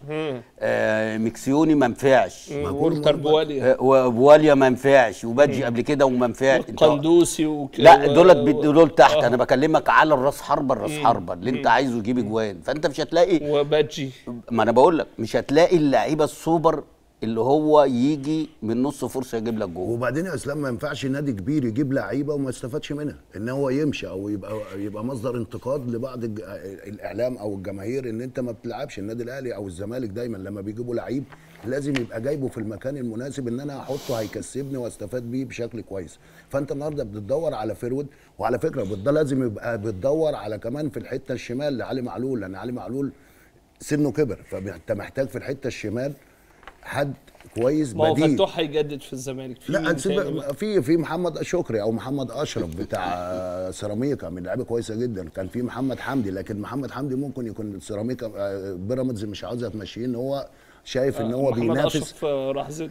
اللي هو بتاع سيراميكا ده آه. موجود جدا. يعني ف... ف... انت محتاج صفقات أو محتاج ال- الحتتين دول بالذات إن أنت يكون عندك راس حربة وعندك في الناحية الشمال. لكن إيه- هم دول الصفقتين المهمين اللي يبقى موجودين في النادي الأهلي الفترة اللي جاية. لكن أنت بتتكلم على صفقة النادي الأهلي عنده فرقتين وعنده دلوقتي لعيبة كتير جدا جاهزة. تنساش كمان إن أنت عندك كريم فؤاد اللي هو كنا بنتكلم عليه قبل كده إن هو يمشي. لا الراجل اتطور مع كولر وشاف له مكان. لولا الإصابة. لو لولا الإصابة وعندك أكرم توفيق راجع فأنت النادي الأهلي عندك عند هيبقى عندك زحمة السنة اللي جاية بشكل كبير جدا.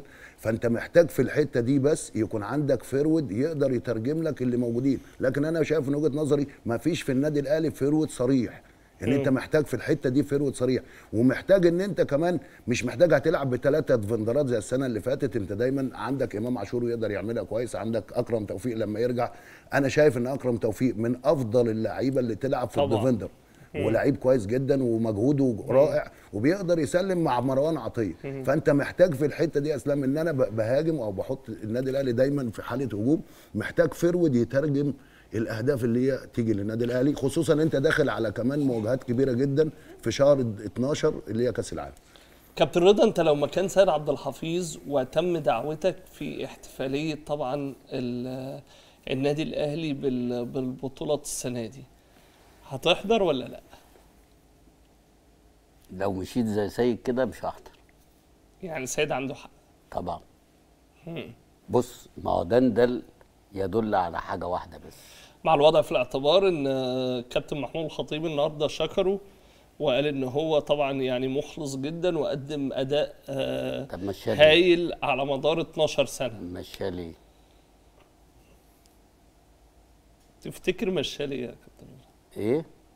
ما أنا بقول لك في حاجة لغز أنا قلت لك من المرة اللي فاتت حاجة كبيرة قوي وما يعرفهاش غير الكابتن محمود الخطيب ومجلسه وسيد عبد الحفيظ طيب لكن أنت لو مكان سيد مش, مش هتحضر ليه؟ مم. لاني زي ما قلت لك المرة اللي فاتت أنت عشان تمشي لازم بتدي بوادر قبليها. ده في مشاكل ده في ده في وتفضل إيه كل شهر بس كان في شهرين؟ خلافات يا حبيبي ارمي ارمي للناس مش الناس سيد يعني في بعض المتربصين بيه كان داخل النادي الأهلي. حبيبي أنا دلوقتي لأن سيد ما بيعملش مشاكل خالص شغال مع النادي الأهلي. ومين اللي بيرقصني؟ كابتن محمود خطيب اللي هو في ظهري. أنا ماليش دعوة بانهي هو أي عضو في النادي الأهلي أقوى من محمود الخطيب. لا طبعا. حتى هو ما فيش حد أقوى من محمود الخطيب بس- جوه النادي الأهلي. بس. فالقرار لما اتاخد في حاجة حاجة غامضة. حاجة الله أعلم. لكن تصرف سيد ده طبيعي. ده طبيعي. ط- ليه بقى؟ لأن هو ما كانش متوقع. هو مفيش حد أصلا كان متوقع. ده هو بالذات. أنا لسه قاعد على الدكة امبارح. تاني يوم الظهر إقالتي. طب ما تروح واقعد وأعمل اجتماع معاه واخد بالك وعرف مصر كلها إن في اجتماع مع سيد عبد الحفيظ. أنا عايز أقول لك إن هو كان رايح في اليوم ده بترتيبات معسكر النمسا ما أنا بقول لك أهو ما دي مفاجأة. وهل أنا بقول لك هل إن أي عضو في مجلس إدارة النادي الأهلي مع كل احترام ليهم كلهم إن هو أقوى من الكابتن محمود الخطيب إن هو ياخد القرار ده حتى لو هو مش طايق سيد عبد الحفيظ. ده لو التسعه تسع أعضاء مش عايزينه والكابتن الخطيب عايزه خلاص عايزه. ده راجل ناجح. طب أنت ما مشيتوش ليه؟ السنة اللي فاتت لما أخفق في أفريقيا واتنين دوري ورا بعض. لما يمشي في الوضع ده طبيعي. وأنا قلت الكلام ده. قلت مع هنا في البرنامج بتاعنا ده. آه، قلت. غير العتبة. حصل؟ يا كابتن محمود غير العتبة بقى وسيد عبد الحفيظ يريح شوية لأن أخفق السنة دي والسنة اللي فاتت اتنين دوري صعب جدا على النادي الأهلي. حصل وخسر بطولة أفريقيا. يبقى أنت مستني إيه؟ وتمسك راجل ومسك فيه. وفرضوا على الدنيا كلها.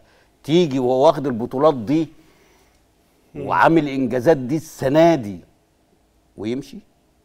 لا في لغز ولغز كبير. وأنا لو مكانه ما أروحش. لو ما كانوا آه طبعا ده دي كرامة. لأن أنا مشيت بشكل مهين.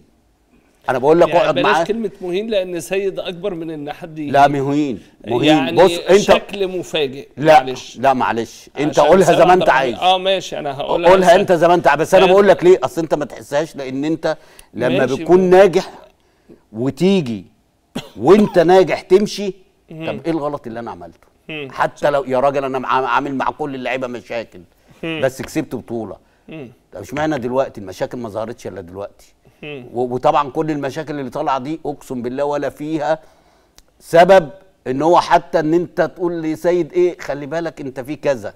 يعني ما تلفتش نظره كمان. مش سبب قوي. أصل هو آه كان بيتخانق كتير. أصل لا سيد عبد الحفيظ وهو قاعد على الدكة ولما يقوم لأي حكم لا له هيبة. طبعا. والحكام كانت بتعمل له اعتبار. طبعا. وبتغير سواء في الوقت الضايع من ثلاث دقايق ل 10 دقايق بس أما يقوم بس. واخد بالك؟ يقوم بس. بدل ما هيدي ثلاث دقايق بيدي 10 دقايق. لو الأهلي خسران أو متعادل. واخد بال حضرتك؟ لما بيقوموا على الخط برضه بتلاقي في قرارات عكسية بتحصل. واخد بالك؟ كابتن أبو الدهب استنى بس خلينا أكمل. أنت بتخطف ليه؟ أنت بقالك ساعة بتتكلم. طب مش بنتكلم في. استنى بنتكلم في المفيد ولا لا؟ أنت بتتكلم في الم... أنت كل كلامك مفيد يا كابتن. طب خش لابو ده لا بس أنا عايز أقول لك كابتن أبو. الدهب آه، خالد بيبو هيواجه صعوبات في توليه للمسؤولية بعد سيد عبد الحفيظ ولا الكابتن محمود الخطيب هيبقى مساند ليه علشان يعني يثبت صحة وجهة نظره آه، بتعيين خالد بيبو؟ خلي خلي بالك يا اسلام ممكن إحنا شفنا مديرين الكورة كلهم بيساندوا مجلس إدارة. وبيستمد قوته من مجلس إدارة على فكرة ومدير الكورة من ساعة ما دخلنا النادي الأهلي اتعلمنا إن مدير الكورة لما بياخد قرار بيرجع لمجلس إدارة في الأول. لكن أنا عايز أقول لك وجود خالد بيبو في هذا التوقيت هو يعني فرصة لخالد بيبو بسر النادي الأهلي بنجاح النادي الأهلي بقوته باخذ بطولاته إن هو يجي في التوقيت ده. لكن أنا بتكلم على رحيل سيد عبد الحفيظ لا أنا سيد عبد الحفيظ كان يعني مش عاوز أقول النادي الأهلي هيندم بشكل كبير جدا على رحيله. فعلا آه لأنه أقوى الأهلي هيندم أنا بقول آه طبعا لأن أقوى مدير يعني الأهلي ما بيندمش مش على بي مش حد لا يا كابتن إسلام أبو بص. يا إسلام سيد عبد الحفيظ يعني هيكابر. لا سيد عبد الحفيظ لا فعلا أيقونة. الاهلي, الأهلي هو اللي. بيعمل أي حد يا حبيبي. ماشي،. كلامك مظبوط يا كابتن إسلام يعني هو مش تقليلا من النادي الأهلي والنادي الأهلي زي ما عمل سيد عبد الحفيظ وعمل الكابتن ثابت البطل وعمل مديرين كورة كبيرة جدا أكيد هيعمل خالد بيبو لأن أنا شايف إن لجنة التخطيط أو مجلس إدارة هي اللي اتفقت عليه وجابته بشكل طيب كويس. كابتن رضا يعني من بعد رحيل طبعا الله يرحمه كابتن ثابت البطل كان بيجي جرب النادي الأهلي مديرين كرة كتير. وبعدين يجي سيد عبد الحفيظ الأهلي يستعيد توازنه وياخد بطولات. يمشي سيد عبد الحفيظ تحصل مشكلة في الحتة دي. يجي بقى ايا كان خالد آه سوري آه على عبد الصادق وائل جمعة. يرجع سيد عبد الحفيظ مرة تانية. الأهلي يستعيد توازنه لا لا لا ال- الأهلي مستعيد في أي حد. هات لي آه. كده مع وائل جمعة خد بطولات. لا كابتن رضا وقت وائل جمعة كان في مشاكل. ماشي. ومشاكل مع اللعيبة الكبيرة. حبيبي كان ماشي. مع حسام غالي وكان مع عبد الله السعيد وكان مع آه مين تاني؟ أنا مش عماد. متعب. وعماد متعب وأحمد فتحي كان في مشاكل مع اللعيبة أيوه عشان. دولت لعيبة أصلا لعيبة كبيرة آه. وليها نفوذ. ده مشوا جوا- جريد يا راجل. آه ما هو مشوا غريب أيوه يعني أنت مش هيمشوا وائل وائل. جمعة. حسام غالي ظريف يعني وهو لعيب وهو يعني ليه؟ أيوه ماشي. قيمة. لا بس هنا هنا كمان هم لعيبة بيبقوا أقوى خلي بالك هل ده ممكن أنا سؤالي هل ده ممكن يتكرر دلوقتي مع خالد بيبو؟ في لعيبة بوزن اللعيبة اللي أنت قلتها دي عشان يعملوا طبعا. مشاكل طب لا. خلاص كله حاضر ونعم. وخلاص وكله دلوقتي بيتلبي بالخصومات فطبعا دلوقتي يعني إحنا مثلا أيامنا كان كبيرك 1000 جنيه 2000 جنيه يوم ما تضرب 5000 جنيه يا نهار أسود أيوه بس ما كانش الدنيا ما بتسود. كنتش بتعملوا المشاكل دي. ما لا بس أنا بقول ولا انما دلوقتي بتعملوا مشاكل لا لا بنعمل مشاكل بس, بس مش ما- اللي مش هي, اللي هي يا بص ب...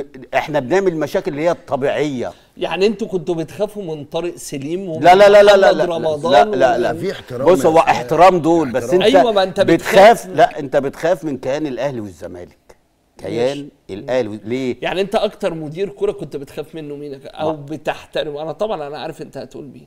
بس يعني ما بحترمش حد. أنا بح... أنا, أنا كنت. لا استنى بس استنى أنت بس. لا بس استنى. بس استنى بس استنى بس. ده أنا كان في مشاكل بيني وبين الكابتن طارق سليم. واخد بالك؟ وكنت بناطح معاه على طول وكان يخصم مني. واخد بالك؟ فعلا. بس مين اللي كان غلطان بذمتك؟ هو.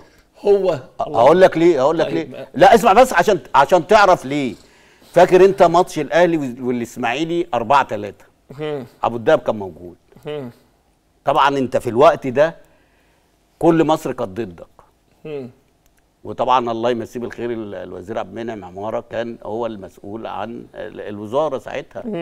وكان بيدعم كل فرقة النادي الأهلي راح يلعبها. حصل؟ تمام. المصري كنا رايحين نلعبوا دعم وقال لك نعمل الاستاد بتاعهم والما أعرفش إيه وصرف لهم إيه نفس الكلام الاتحاد في اسكندرية نفس الك... كل الفرق واخد بالك؟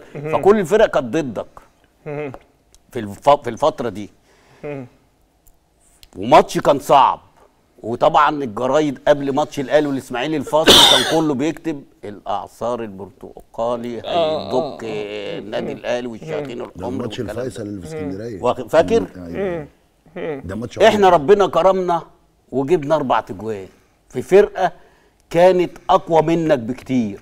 على أرض الواقع. آخر ماتش ليها كسبانه الاتحاد 5 1 واخد بالك؟ وأنت متعادل مع المصري 0 0 هم معنوياتهم أعلى مع الإعلام ب... في الوقت ده معاهم. شوف بقى أول مرة الإعلام يبقى ضد النادي الأهلي. والناس كلها عايزة النادي الأهلي كان يخسر. وانت ربنا كرمك وجبت أربع تجوان.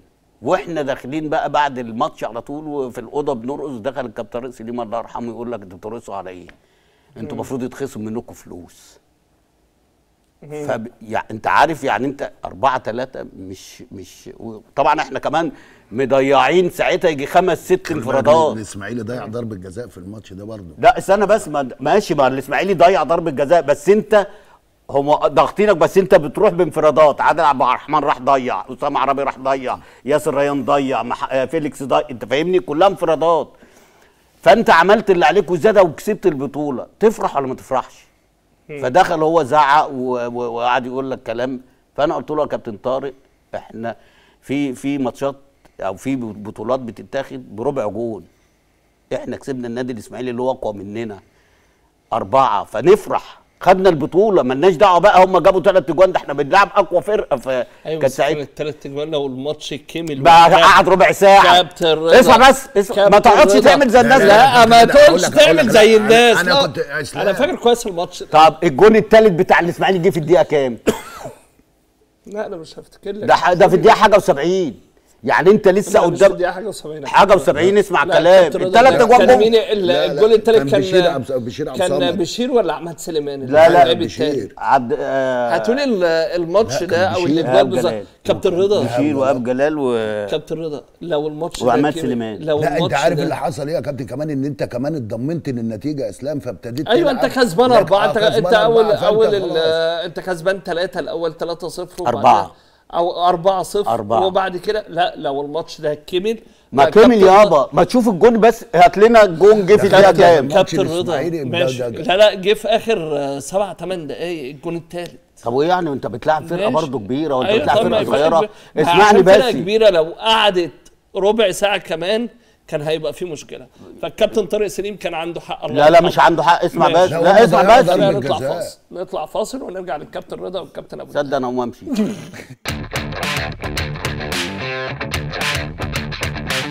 بيستعد نادي زد الوافد الجديد للدوري المصري الممتاز لخوض تجربته الأولى وسط الكبار بالمسمى الجديد تحت قيادة المدير الفني مجدي عبد العاطي المتخصص في الصعود للممتاز. فسبق وحقق ذلك الإنجاز في المجموعات الثلاثة الصعيد وبحري ومجموعة القاهرة والقناة. وسبق وشارك زد في الدوري الممتاز ولكن باسم FC مصر قبل ما يتم بيع النادي ويعود للممتاز باسم زد. وهيدخل نادي زد بطولة الدوري الممتاز بتحديات جديدة وطموحات مختلفة. فهو أكتر الأندية تدعيما لصفوفه حتى الآن ب 19 لاعب. وقام بالاستغناء عن غالبية اللاعبين أصحاب إنجاز الصعود للممتاز. ونجح مجلس إدارة نادي زد في التعاقد مع الحارسين علي لطفي من النادي الأهلي وعمرو حسام من Eastern Company واللي كان معار الموسم الماضي لصفوف أسوان. وعلى غرار علي لطفي فنجح زد في حسم أكتر من صفقة من الأهلي. وهم شادي حسين ومصطفى سعد ميسي ومحمد أشرف بكري وحمدي موسى وأحمد سيد عبد النبي ومصطفى فوزي. كمان نجحت إدارة النادي في التعاقد مع ثنائي نادي إنبي محمد إسماعيل وجرجس مجدي.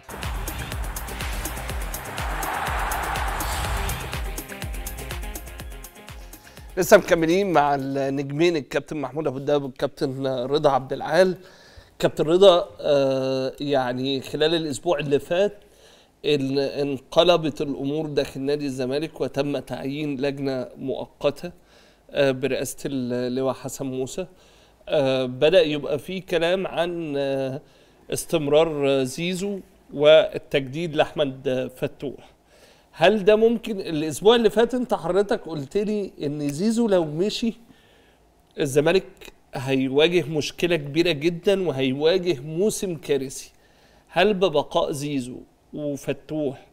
يبقى في بارقة أمل إن الزمالك ممكن آه، يبقى ليه شكل في في الموسم الجديد ولا لأ؟ طيب كابتن أبو الدهب رد على السؤال. طالما الكابتن رضا أنا أنا كنت ضد بيع زيزو يا إسلام. لأن أنت أنت زيزو وأحمد فتوح وموجود عندك شيك- شيكابالا كقائد كابتن للفريق رضا جاوب خلاص. لا ما أنا بقول لك لكن أنا شايف إن لا، فرقة لسه بجاوب. لا هم كانوا محتاجين. أنا. بكلمك محتاجين بعض الثقة. أنت عندك فرقة كويسة. نادي الزمالك. آه نادي الزمالك عنده فرقة كويسة وعنده لعيبة كويسة موجودين محتاجين الثقة. لأن أنت لو تمشي زيزو أو تشيل زيزو من فرقة الزمالك هو أحمد فتوح ما فيش فرقة. فأنت النهارده مش هتبيع لعيبة عشان تصرف على النادي.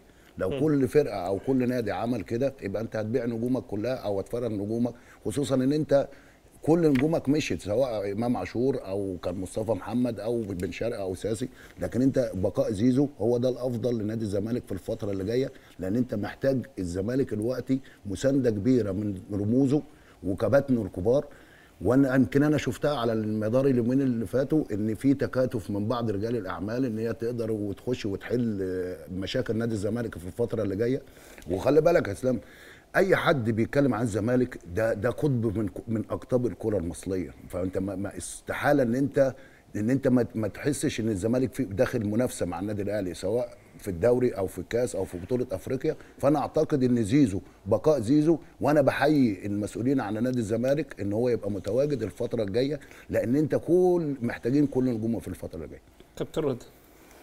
أول هام أنت بتقول لي اللجنه هي اللي قعدت لا أنا ما قلتش قعدت بس هم يعني لا هي هي جاية باختصاصات فنية ولا إيه؟ عشان نبقى فاهمين. تيسير أعمال لحين آه، إقامة ملاش. الحق تبعززه أو تقعده أو تمشيه. لا يعني لو واخد موافقة من الجهة الإدارية ياخد موافقة من الجهة الإدارية. طيب إيه، أنا المرة اللي فاتت أنا فاكر الكلام قوي لما قلت لك زيزو أنا عايزه يمشي بس مش في المجلس ده. بعد ما المجلس يمشي. واخد بالك؟ عشان فلوسه ما تتبخرش صح؟ زيزو كان موجود السنة اللي فاتت. الزمالك خد كام بطولة؟ لا ملهاش علاقة. لا اسمع بس. اصلع انت مش بتسألني؟ كمل انت مش. بتسألني وعايز إجابة؟ إحنا هنتكلم. بما يرضي الله. اتفضل يا كابتن. زيزو دلوقتي لو اتباع مثلا وجاب المبلغ اللي هو مطلوب لنادي الزمالك نادي الزمالك يجيب كام بس بما يرضي الله بقى. الناس لازم تبقى لجنة فنية يعني ال- ال- اللجنة الثلاثية دي من دلوقتي عشان انت داخل على موسم لازم تجيب اتنين فنيين عشان يجيبوا لك طلبات الراجل اللي هو جاي. اسوريو ده اللي أنا مش مقتنع بيه أصلا. ماشي بس- ما تقتنعش بحد مش مهم. لا بس أنت دلوقتي هتبيع زيزو فك بخمس لعيبة سوبر. وعندك كانت اللعيبة موجودة. واخد بقى بس هو دلوقتي خلاص كله سكت القيد القيد مقفول يا كابتن. يا حبيبي ماشي. ما أنت دلوقتي هات عشان القيد هيتفتح الفترة اللي جاية دي أو حتى في يناير. أنت فلوس زيزو دي تجيب أربع لعيبة تبني عليها فرقة تاني. واخد بال حضرتك؟ زيزو كان موجود بيلعب لوحده. والله لو قعد 100 سنة ما هيجيب بطولة. إنما أنت لما يكون أربعة خمسة مع وجود شيكابالا مع وجود مثلا الجزيري مع يعني ال- ال- تلصم ده الصفقات اللي جت ما ساعدتوش كمان يا كابتن. أنت فاهم؟ لا هات بقى. ما أنت هتبيعه فكوا بأربعة. الأربعة دولت هات اتنين على مستوى عالي من بره واتنين على مستوى عالي من جوه. يعني يعني انت كنتوا بتتكلموا مثلا في إيه؟ في إمام عاشور صح؟ طبعا إمام عاشور الفترة اللي جاية دي هيفيد النادي الأهلي بس لو التزم لو التزم. بس أنا كنت شايف بفلوس إمام عاشور دي تفك أربع لعيبة وأربع لعيبة على اللعيبة اللي هي بيقول لك إيه؟ من العيار الثقيل. اللي هو مهند لاشين كابتن رضا الكلام ده بس. اتأخر. يا خلاص حبيبي لا لا. خلص. أنا بكلمك اللع- اللعيبة كل فرقة سكنت اللعيبة يا بتاعتها حبيبي أنا. بكلمك لما أنا بدل ما أجيب إمام عاشور ب 3.5 مليون دولار هو دلوقتي مهند لاشين ومحمود مرعي اللي النادي الأهلي كان عايزه وبوبو والكلام ده لو كان جاب اللعيبة دي كان هيدفع 3 مليون ونص دولار؟ ولا أقل؟ صح ولا غلط؟ صح. طيب انت كنت جبت الثلاث لعيبة ولا الأربع لعيبة دول بما فيهم كمان مصطفى فتحي؟ اقسم بالله انت كنت هتنافس على كأس عالم للأندية. يعني أنا مهند لاشين عمر كمال عبد الواحد مصطفى فتحي محمد شكري.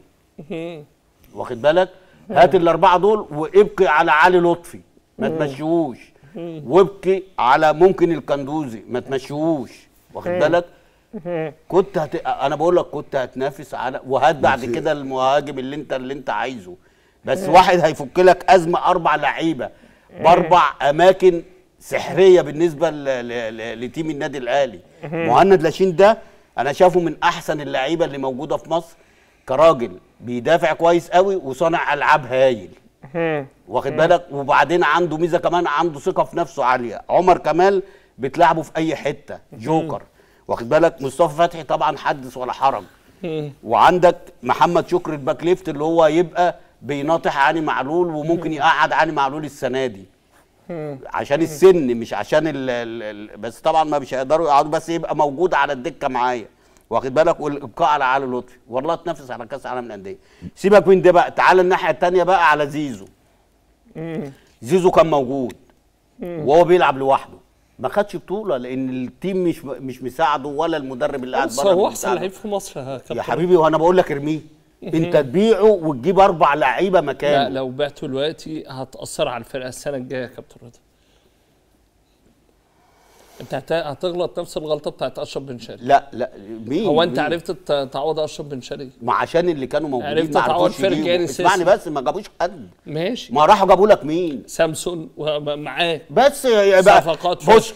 انت لو جبت دلوقتي واحد كان بلاش في الدوري المصري هنا زي مصطفى فتحي كابتن رضا عرفت تعوض طارق حامد الزمالك عرف يعوض طارق حامد يا عم كابتن اسمع أبو والله. العظيم عمرو ده السيسي من ضمن المشاكل يا أسلام يا عم عمرو السيسي لو خد. في الحتة بتاعت دونجا دي. أقسم بالله قد طارق حامد 100 مرة ما في زي طارق حامد يا عم أنتوا خلاص أنتوا. طارق حامد ده. بالنسبة لي هو اللي عوض تامر عبد الحميد في. الحتة دي لا ما بعرفش. ألعب انت بس اللي. بتعرف تلعب وانت كنت بتلعب. ديفندر. انت كنت بترقص بالصدفة يا كابتن رضا آه برقص غلط هم أنا زي أنا زي كابتن ابو. الدهب مره كابتن ابو الدهب مرة قال لي كابتن رضا كان بيحاسب الناس اللي بيرقصوا لا والله. قالها لي بره صح يا كابتن ده كان زماني بشحت ده كان بيرقصنا. لا إحنا بنتكلم والله بجد. عشان نادي الزمالك. أو انت حافظت على زيزو.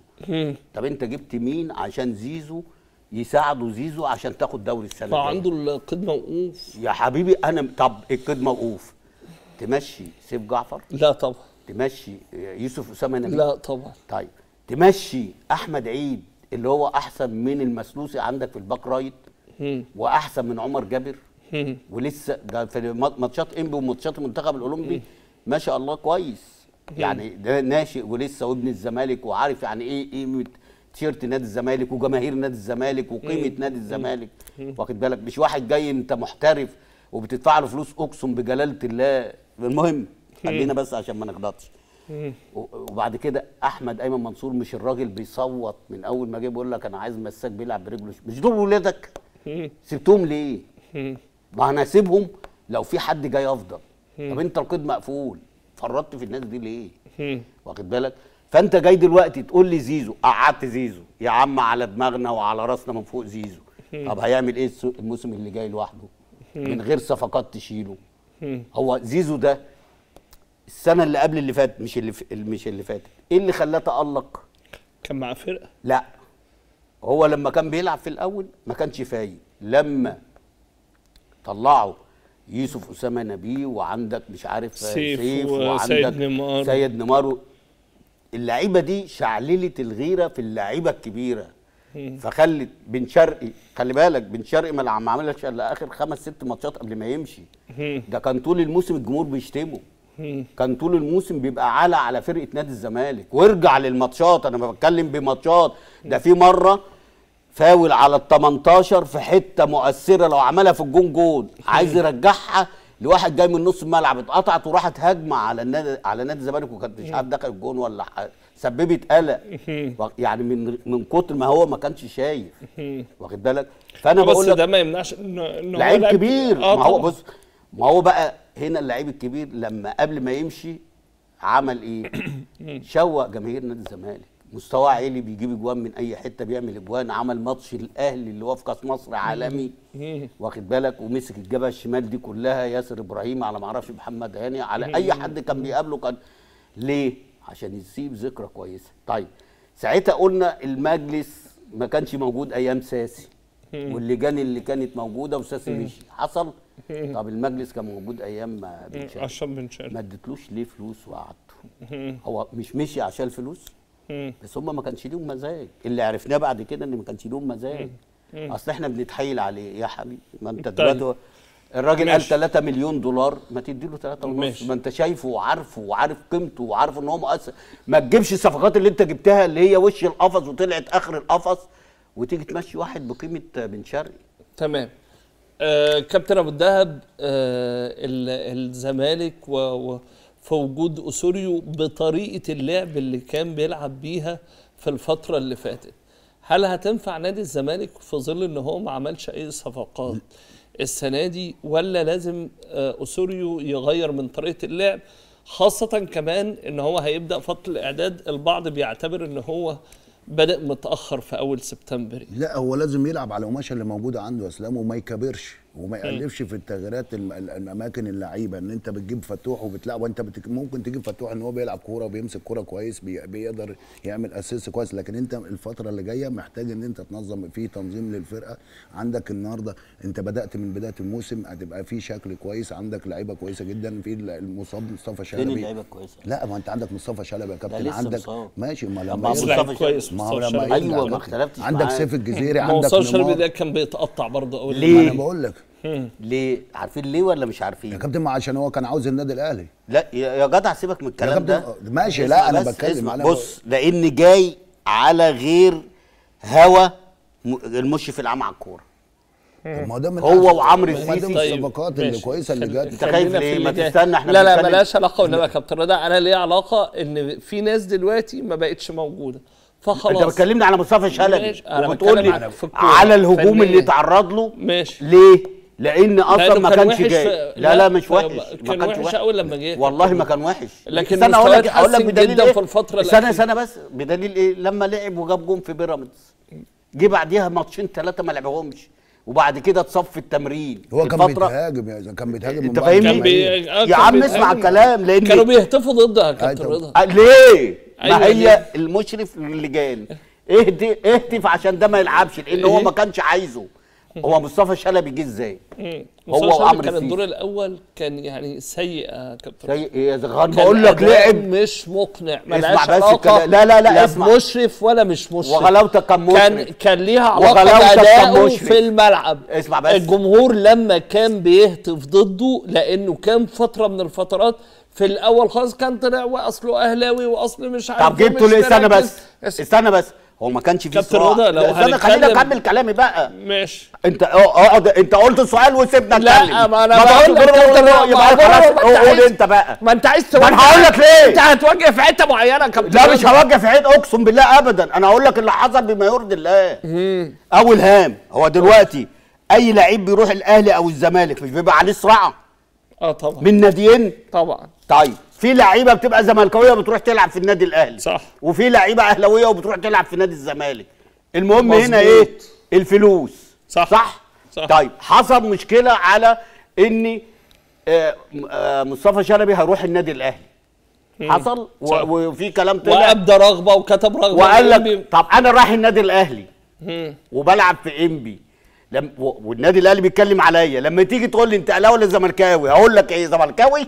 فين؟ الرغبه ماشي. انت دلوقتي كلموا عليك يا اسلام والنادي الأهلي اتكلم عليك. وانت هتمضي رغبة. واخد بالك؟ ويجي يقولوا لك انت أهلاوي ولا زملكاوي؟ والأهلي اللي بيكلمك الزمالك ما كانش طرف. صح؟ هتقول إنك أهلاوي. صح. صح. ده- عشان تمشي الصفقة. عشان إن أنا ألعب للنادي الأهلي. صح. ولو كنت رايح الزمالك زي مروان. عطية ما قال إن أنا زملكاوي لما صح. كان الزمالك بيتكلم. عليه. واخد. بال حضرتك؟ صح. فده لما حصل النادي الأهلي بعد شوية. مم. دخل نادي الزمالك. خلص. خلص. مم. راح نادي الزمالك. مفروض إن أنت ما تقولش أهلاوي وزملكاوي بس راح بيه هنا بقى غصب عن فيريرا والمشرف العام. اسمع الكلام بقى اللي أنا بقول لك. الصح. ماشي. فطبعا عشان ما يلعبوش رموا حتة إن هو أهلاوي. ما هو ده مين اللي طبيعي. جابه يا كابتن رضا؟ آه، رئيس النادي. بالظبط كده. غصب عن مين؟ ماشي غصب عن ليه؟ الثلاث صفقات اللي جم في الآخر مرتضى منصور اللي جايبه. ليه؟ مم. لأن طبعا هو عايز يوري لجماهير الزمالك إن أنا خدت واحد كان راح الأهلي. لأن ماشي. لأن ولو عمل كده ما, ما فيش شطارة. مانع يعني يتحسب. له. أيوه. آه، ماشي. ما هو جه على رغبة مين اللي مش عايزه؟ المشرف العام. والمشرف العام كان ساعتها اسمعني بس والله العظيم كلام من ويطلع أي حد يكذبني يا كان- ماشي اسلام ما بقولكش أنت غلط أنت واخد بالك وطبعا ساعتها الراجل اللي كان موجود كان عنده زهايمر فالراجل كان مأثر عليه قلبا وقالبا. اللي هو فريرة واخد بالك يقول له ده يلعب. ده يلعب أو ما يلعبش أو يستبعد ده. يا راجل ده أسامة نبي يوسف أسامة. نبي جايب جونين في الوقت بدل الضايع ويجي بعد كده بأوامر ده ما يلعبش ما وكان بيحصل مع لعيبة تانية ومحمد عواد من ضمنهم ولاعيبه طيب يعني فاهمني؟ مختلف معاك. فطبعا جه مصطفى شلبي جه نادي الزمالك. فاترمى في الأرضية إن هو أهلاوي. بعد كده غير إن أهلاوي بقى ده مستوى وحش. مستوى وحش إزاي؟ وأنت بتلاعب ساعتها بيراميدز اللي هو أقوى كان ساعتها في الوقت ده أقوى من الأهلي والزمالك والراجل بيكسبك وبيجيب لك جول ويشدوا بين التايمين. افتكر الماتش ده أيوة. كويس. ويخرج الراجل لا كان مصاب ولا كان في حاجة. يعني انت شايف ان مصطفى شلبي لما كان بيظهر بمستوى وحش كان بيتعرض قبل. لمؤامرة. ده بص ده قبل وهو ولما كانت لا لا. الجماهير بتهتف ضده. يا عم اسمعني ده الجماهير وهو نازل الملعب عشان يسخن قابل بقى كمية من السباب والشتيمه و... و... و... بس هو أكبر الناس كلها على احترامه. عشان هو والناس إيه؟ كلها بقت بتشيد استنى. بس استنى بس. آه. عشان هو لعيب كورة. هو لاعب واخد كويس جدا. وفرض نفسه على المدرب رقم واحد والمشرف. لا رقم واحد المشرف. لا، هو على الجمهور. لا المشرف لا يا كابتن والمدرب. اسمع الكلام. ماشي. وبعد كده الجماهير. لا الجماهير الأول. اسمعني لأن بس. الجماهير مش هتقدر الجماهير بعد كده بعد كده تهاجمه. لا بالمستوى اللي بص- كان بيظهر بيه. بص- بص. هو بس حظه سيء في الإصابة. لا هو ف- لما فرض نفسه أنا بقول لك ليه؟ لأن بقى يتحط أساسي غصب عن الاثنين المشرف والمدرب. أثبت للجمهور إن هو لعيب مختلف طيب. تماما ولعيب. بعد التغييرات دي بقى الزمالك هل أنت لسه عند كلامك إن الزمالك هيواجه موسم كارثي؟ آه. لسه عند كلامك. أيوه. طيب، وأنا بقول لك أهو أبو الدهب. وكلام هتحاسب عليه. مش ماشي. هخش المربع ده الزمالك. آه. ولو الزمالك يعني يعني كلمة المربع الذهبي دي يعني برضو كبيرة على نادي الزمالك. أنا جيت مرة وقلت لك حاجة وطلعت غلط. هو أنت عملت طيب، صف... كابتن اسمع أبو بس الدهب. أنا- أنت عملت صفقات؟ ماشي. ما عملتش الصفقات عشان تقول إن في بس امل الموسم طويل يا كابتن. يا حبيبي اللعيبة اللي موجودة أقسم بالله ما تكسب دورة خلي بالك يا اسلام. الصفقات اللي كابتن- موجودة دي. كابتن أبو ما هي الدهب دي- ما هي هل الصفقات أنت متفق مع رضا عبد العال إن الزمالك مش هيدخل المربع الذهبي السنة الجاية؟ في ظل اللعيبة اللي موجودة دي لا يا اسلام يعني أنت شايف الزمالك هينافس؟ لا. مش هينافس. لا. يعني الزمالك مش فنيا هيدخل يعني انت فنياً. بتأيد كلام رضا عبد أنا العال؟ فنيا فنيا الزمالك مش هينافس أنت لأن بتأيد الصفقات- كلام رضا عبد العال؟ أنا بأيده ليه يا إسلام؟ لأن الصفقات اللي جت الصفقات اللي جت ديت جت السنة اللي فاتت ما عملتش. حاجة. ما هو أنت لو, لو أي حد أي حد يا إسلام هيقعد بيتفرج على نادي الزمالك باللعيبة اللي موجودة ما, ما حدش هيقول لك إن الزمالك هينافس على البطولة. في ظل الصفقات كل الأندية بتجيب صفقات زي بيراميدز زي المصري. ده زد يا راجل جايبين 16 لعيب أو 19 لعيب. فأنت النهارده اللعيبة اللي كانت موجودة دي ما عملتش حاجة. أول موسم ما أنا بقول لك فلا فلا طب أنت عندك القيد مقفول. ما أنت مش هتقدر تجيب لعيبة. أيوه إحنا هنقعد بقى في مين لا في أيوه ما أنت أنت داخل على. موسم كارثة أهو. هو أنا دلوقتي دلوقتي يا إسلام إحنا السنة اللي فاتت لما الزمالك كان واخد البطولة بلعيبة شباب وناشئين وكان يعني ها كام لعيب كده واقفين على رجلهم من اللعيبة الكبيرة شيكابالا على زيزو على وكان معاهم مدرب كويس. بن شرقي. لا لا ما كانش كويس. يا جدع ما كانش كويس. واخد بالك؟ هي كان الجماهير أيوه بس و- و... بس هو كان بيعرف يلاعب اللعيبة يا عم بيلعب يعني إيه ماشي هو لو ما عندوش تغييراته كلها يا كابتن. ده كان بيلعب والله كان بيلعب بص يا كابتن أنت كنت مدير فني وعارف لما يكون عندك طب اللعيبة دي. أنت لما يكون عندك بس، كابتن، دي ما يلعبهاش أنا لما؟ أكون مدير فني وعندي أخطاء في الدفاع بقدر أوقف بحاول أوجد حلول إن أنا ممكن ألعب بثلاثه أو أوقف حد ديفندر ثابت يا عم العب باللي. أنت هو عايزه. الراجل ده كان بيعمل كده يا عم العب باللي كان بيكسب. بزيزو بيكسب. ببن لا يا. حبيبي لا يا كابتن لا يا؟ حبيبي ده اللي كسبه اللي كسبه في الفترة يعني دي أنا كلها لما يكون عندي مدير فني يا كابتن عنده زهايمر ويجيب له مدرب ويجيب له بطولات يا باشا ده أنا أرفع له تعظيم سلام. ما أنت ما حضرتك ضيع. البطولات. يا كابتن ضيع بطولات هو ما جاب لك ما ما اتنين، هو بعد ما فريرا مشي ضيع حصل تمانية. كوارث أهو. مع؟ ما ما هو ما أنت جالك اسوريو اللي أنت النهارده بيلاعب النادي استنى استنى الأهلي استنى مين اللي حصل بيلاعب النادي الأهلي مفتوح. عشان ما تخبطش. عشان ما تخبطش. في الكلام بس صلى على النبي. صلى أنا- على النبي. استنى بس. إحنا بنتكلم فيريرا مشي بعد إيه؟ بعد خس- خس- خسارة كام بطولة؟ عشان مش راضي على الصفقات اللي جت.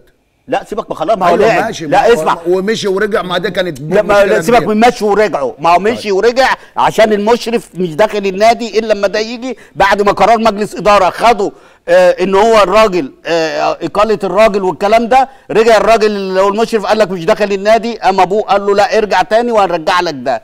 رجع. ماشي ما هو طبيعي. كابتن رضا كابتن رضا. طبيعي في أي إدارة. في الأهلي في أي لا لا لا لا لا معلش. ان بيحصل ثواني. أنت خدت قرار مجلس إدارة يا إسلام. لا يا حبيبي. يا حبيبي. يا حبيبي أنت خدت قرار مجلس إدارة بإقالته. أنت ضربت بالتسع بت... ما تسأل في ال- النائب سليمان وهدان ما قال لك كنا بناخد القرار ويجي يتراجع فيه وبعد كده القرار بتاعه هو اللي بيمشي. وإحنا مش راضيين عليه. وقال فلان وفلان وفلان ما بيبقى يا كابتن رضا خلينا دايما نبص لل خلاص هنبص لقدام. هنبص لقدام بس أنا هرد خلي على بالك اللي مأخر نادي الزمالك فترة من الفترات هي فكرة إن آه لا ده ممدوح عباس عمل؟ لا ده لا مش إحنا اللي. عملناها. لا ده الحجه بص طب هقول لك على حاجة أقول لك على حاجة. طب الأستاذ كمال شعيب استنى بس.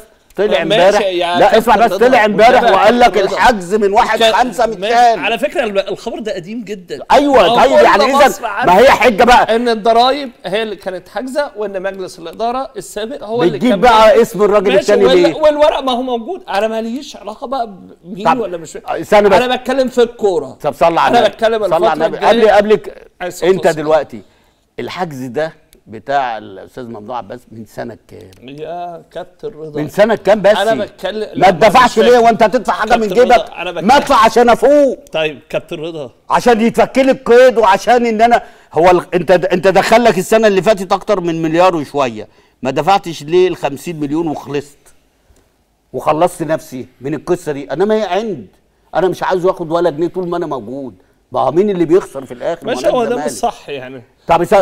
وموضوع شيكابالا ده موضوع شيكابالا ده كارثة إن الراجل بيتخصم منه والفلوس ما تسددتش خلينا نشوف اللجنة المؤقتة هتطلع إيه الفترة اللي جاية. لا ده أنا أقول لك على حاجة عشان بس يشتغلوا على نور. بعد رفع الإيقاف. لا يشتغلوا على نور. آه. أهم حاجة يفكروا في رفع الإيقاف عن الصفقات منين بقى؟ بأي طريقة بقى؟ لا يا حبيبي. لا يا أنا حبيبي. بقول لك لا، أنا. بقول لك إن في تحركات وفي جلسات حصلت من رجال طب شوف الفلوس بس، أنا بقول لك- زملكاويه اسمعني بس أنا دلوقتي النادي في مشكلة. فكرة بقى حل المشاكل لا، دي ما- هتبقى لا دي مش مشكلة لا يا حبيبي. دي لا لا الفلوس مشكلة بص، المجلس الفلوس. سيبك من الفلوس التانية إحنا. دلوقتي الدولارات اللي دخلت دي. نشوفها فين عشان نحل مشاكلنا. كابتن رضا دي مش مشكلة لا مشكلتنا إحنا إحنا مش جهة رقابية دي مشكلة انت بتتكلم عشان الصالح العام لنادي الزمالك؟ في رجال أعمال زملكاوية. 8 فالزمالك 8 مليون دولار. كابتن رضا الزمالك محتاج إلى التكاتف من كل الناس. ما رجال. الأعمال. مش هتدفع- مش كابتن هتدفع رضا 200 أنا بجيبها لك بقى من. الآخر.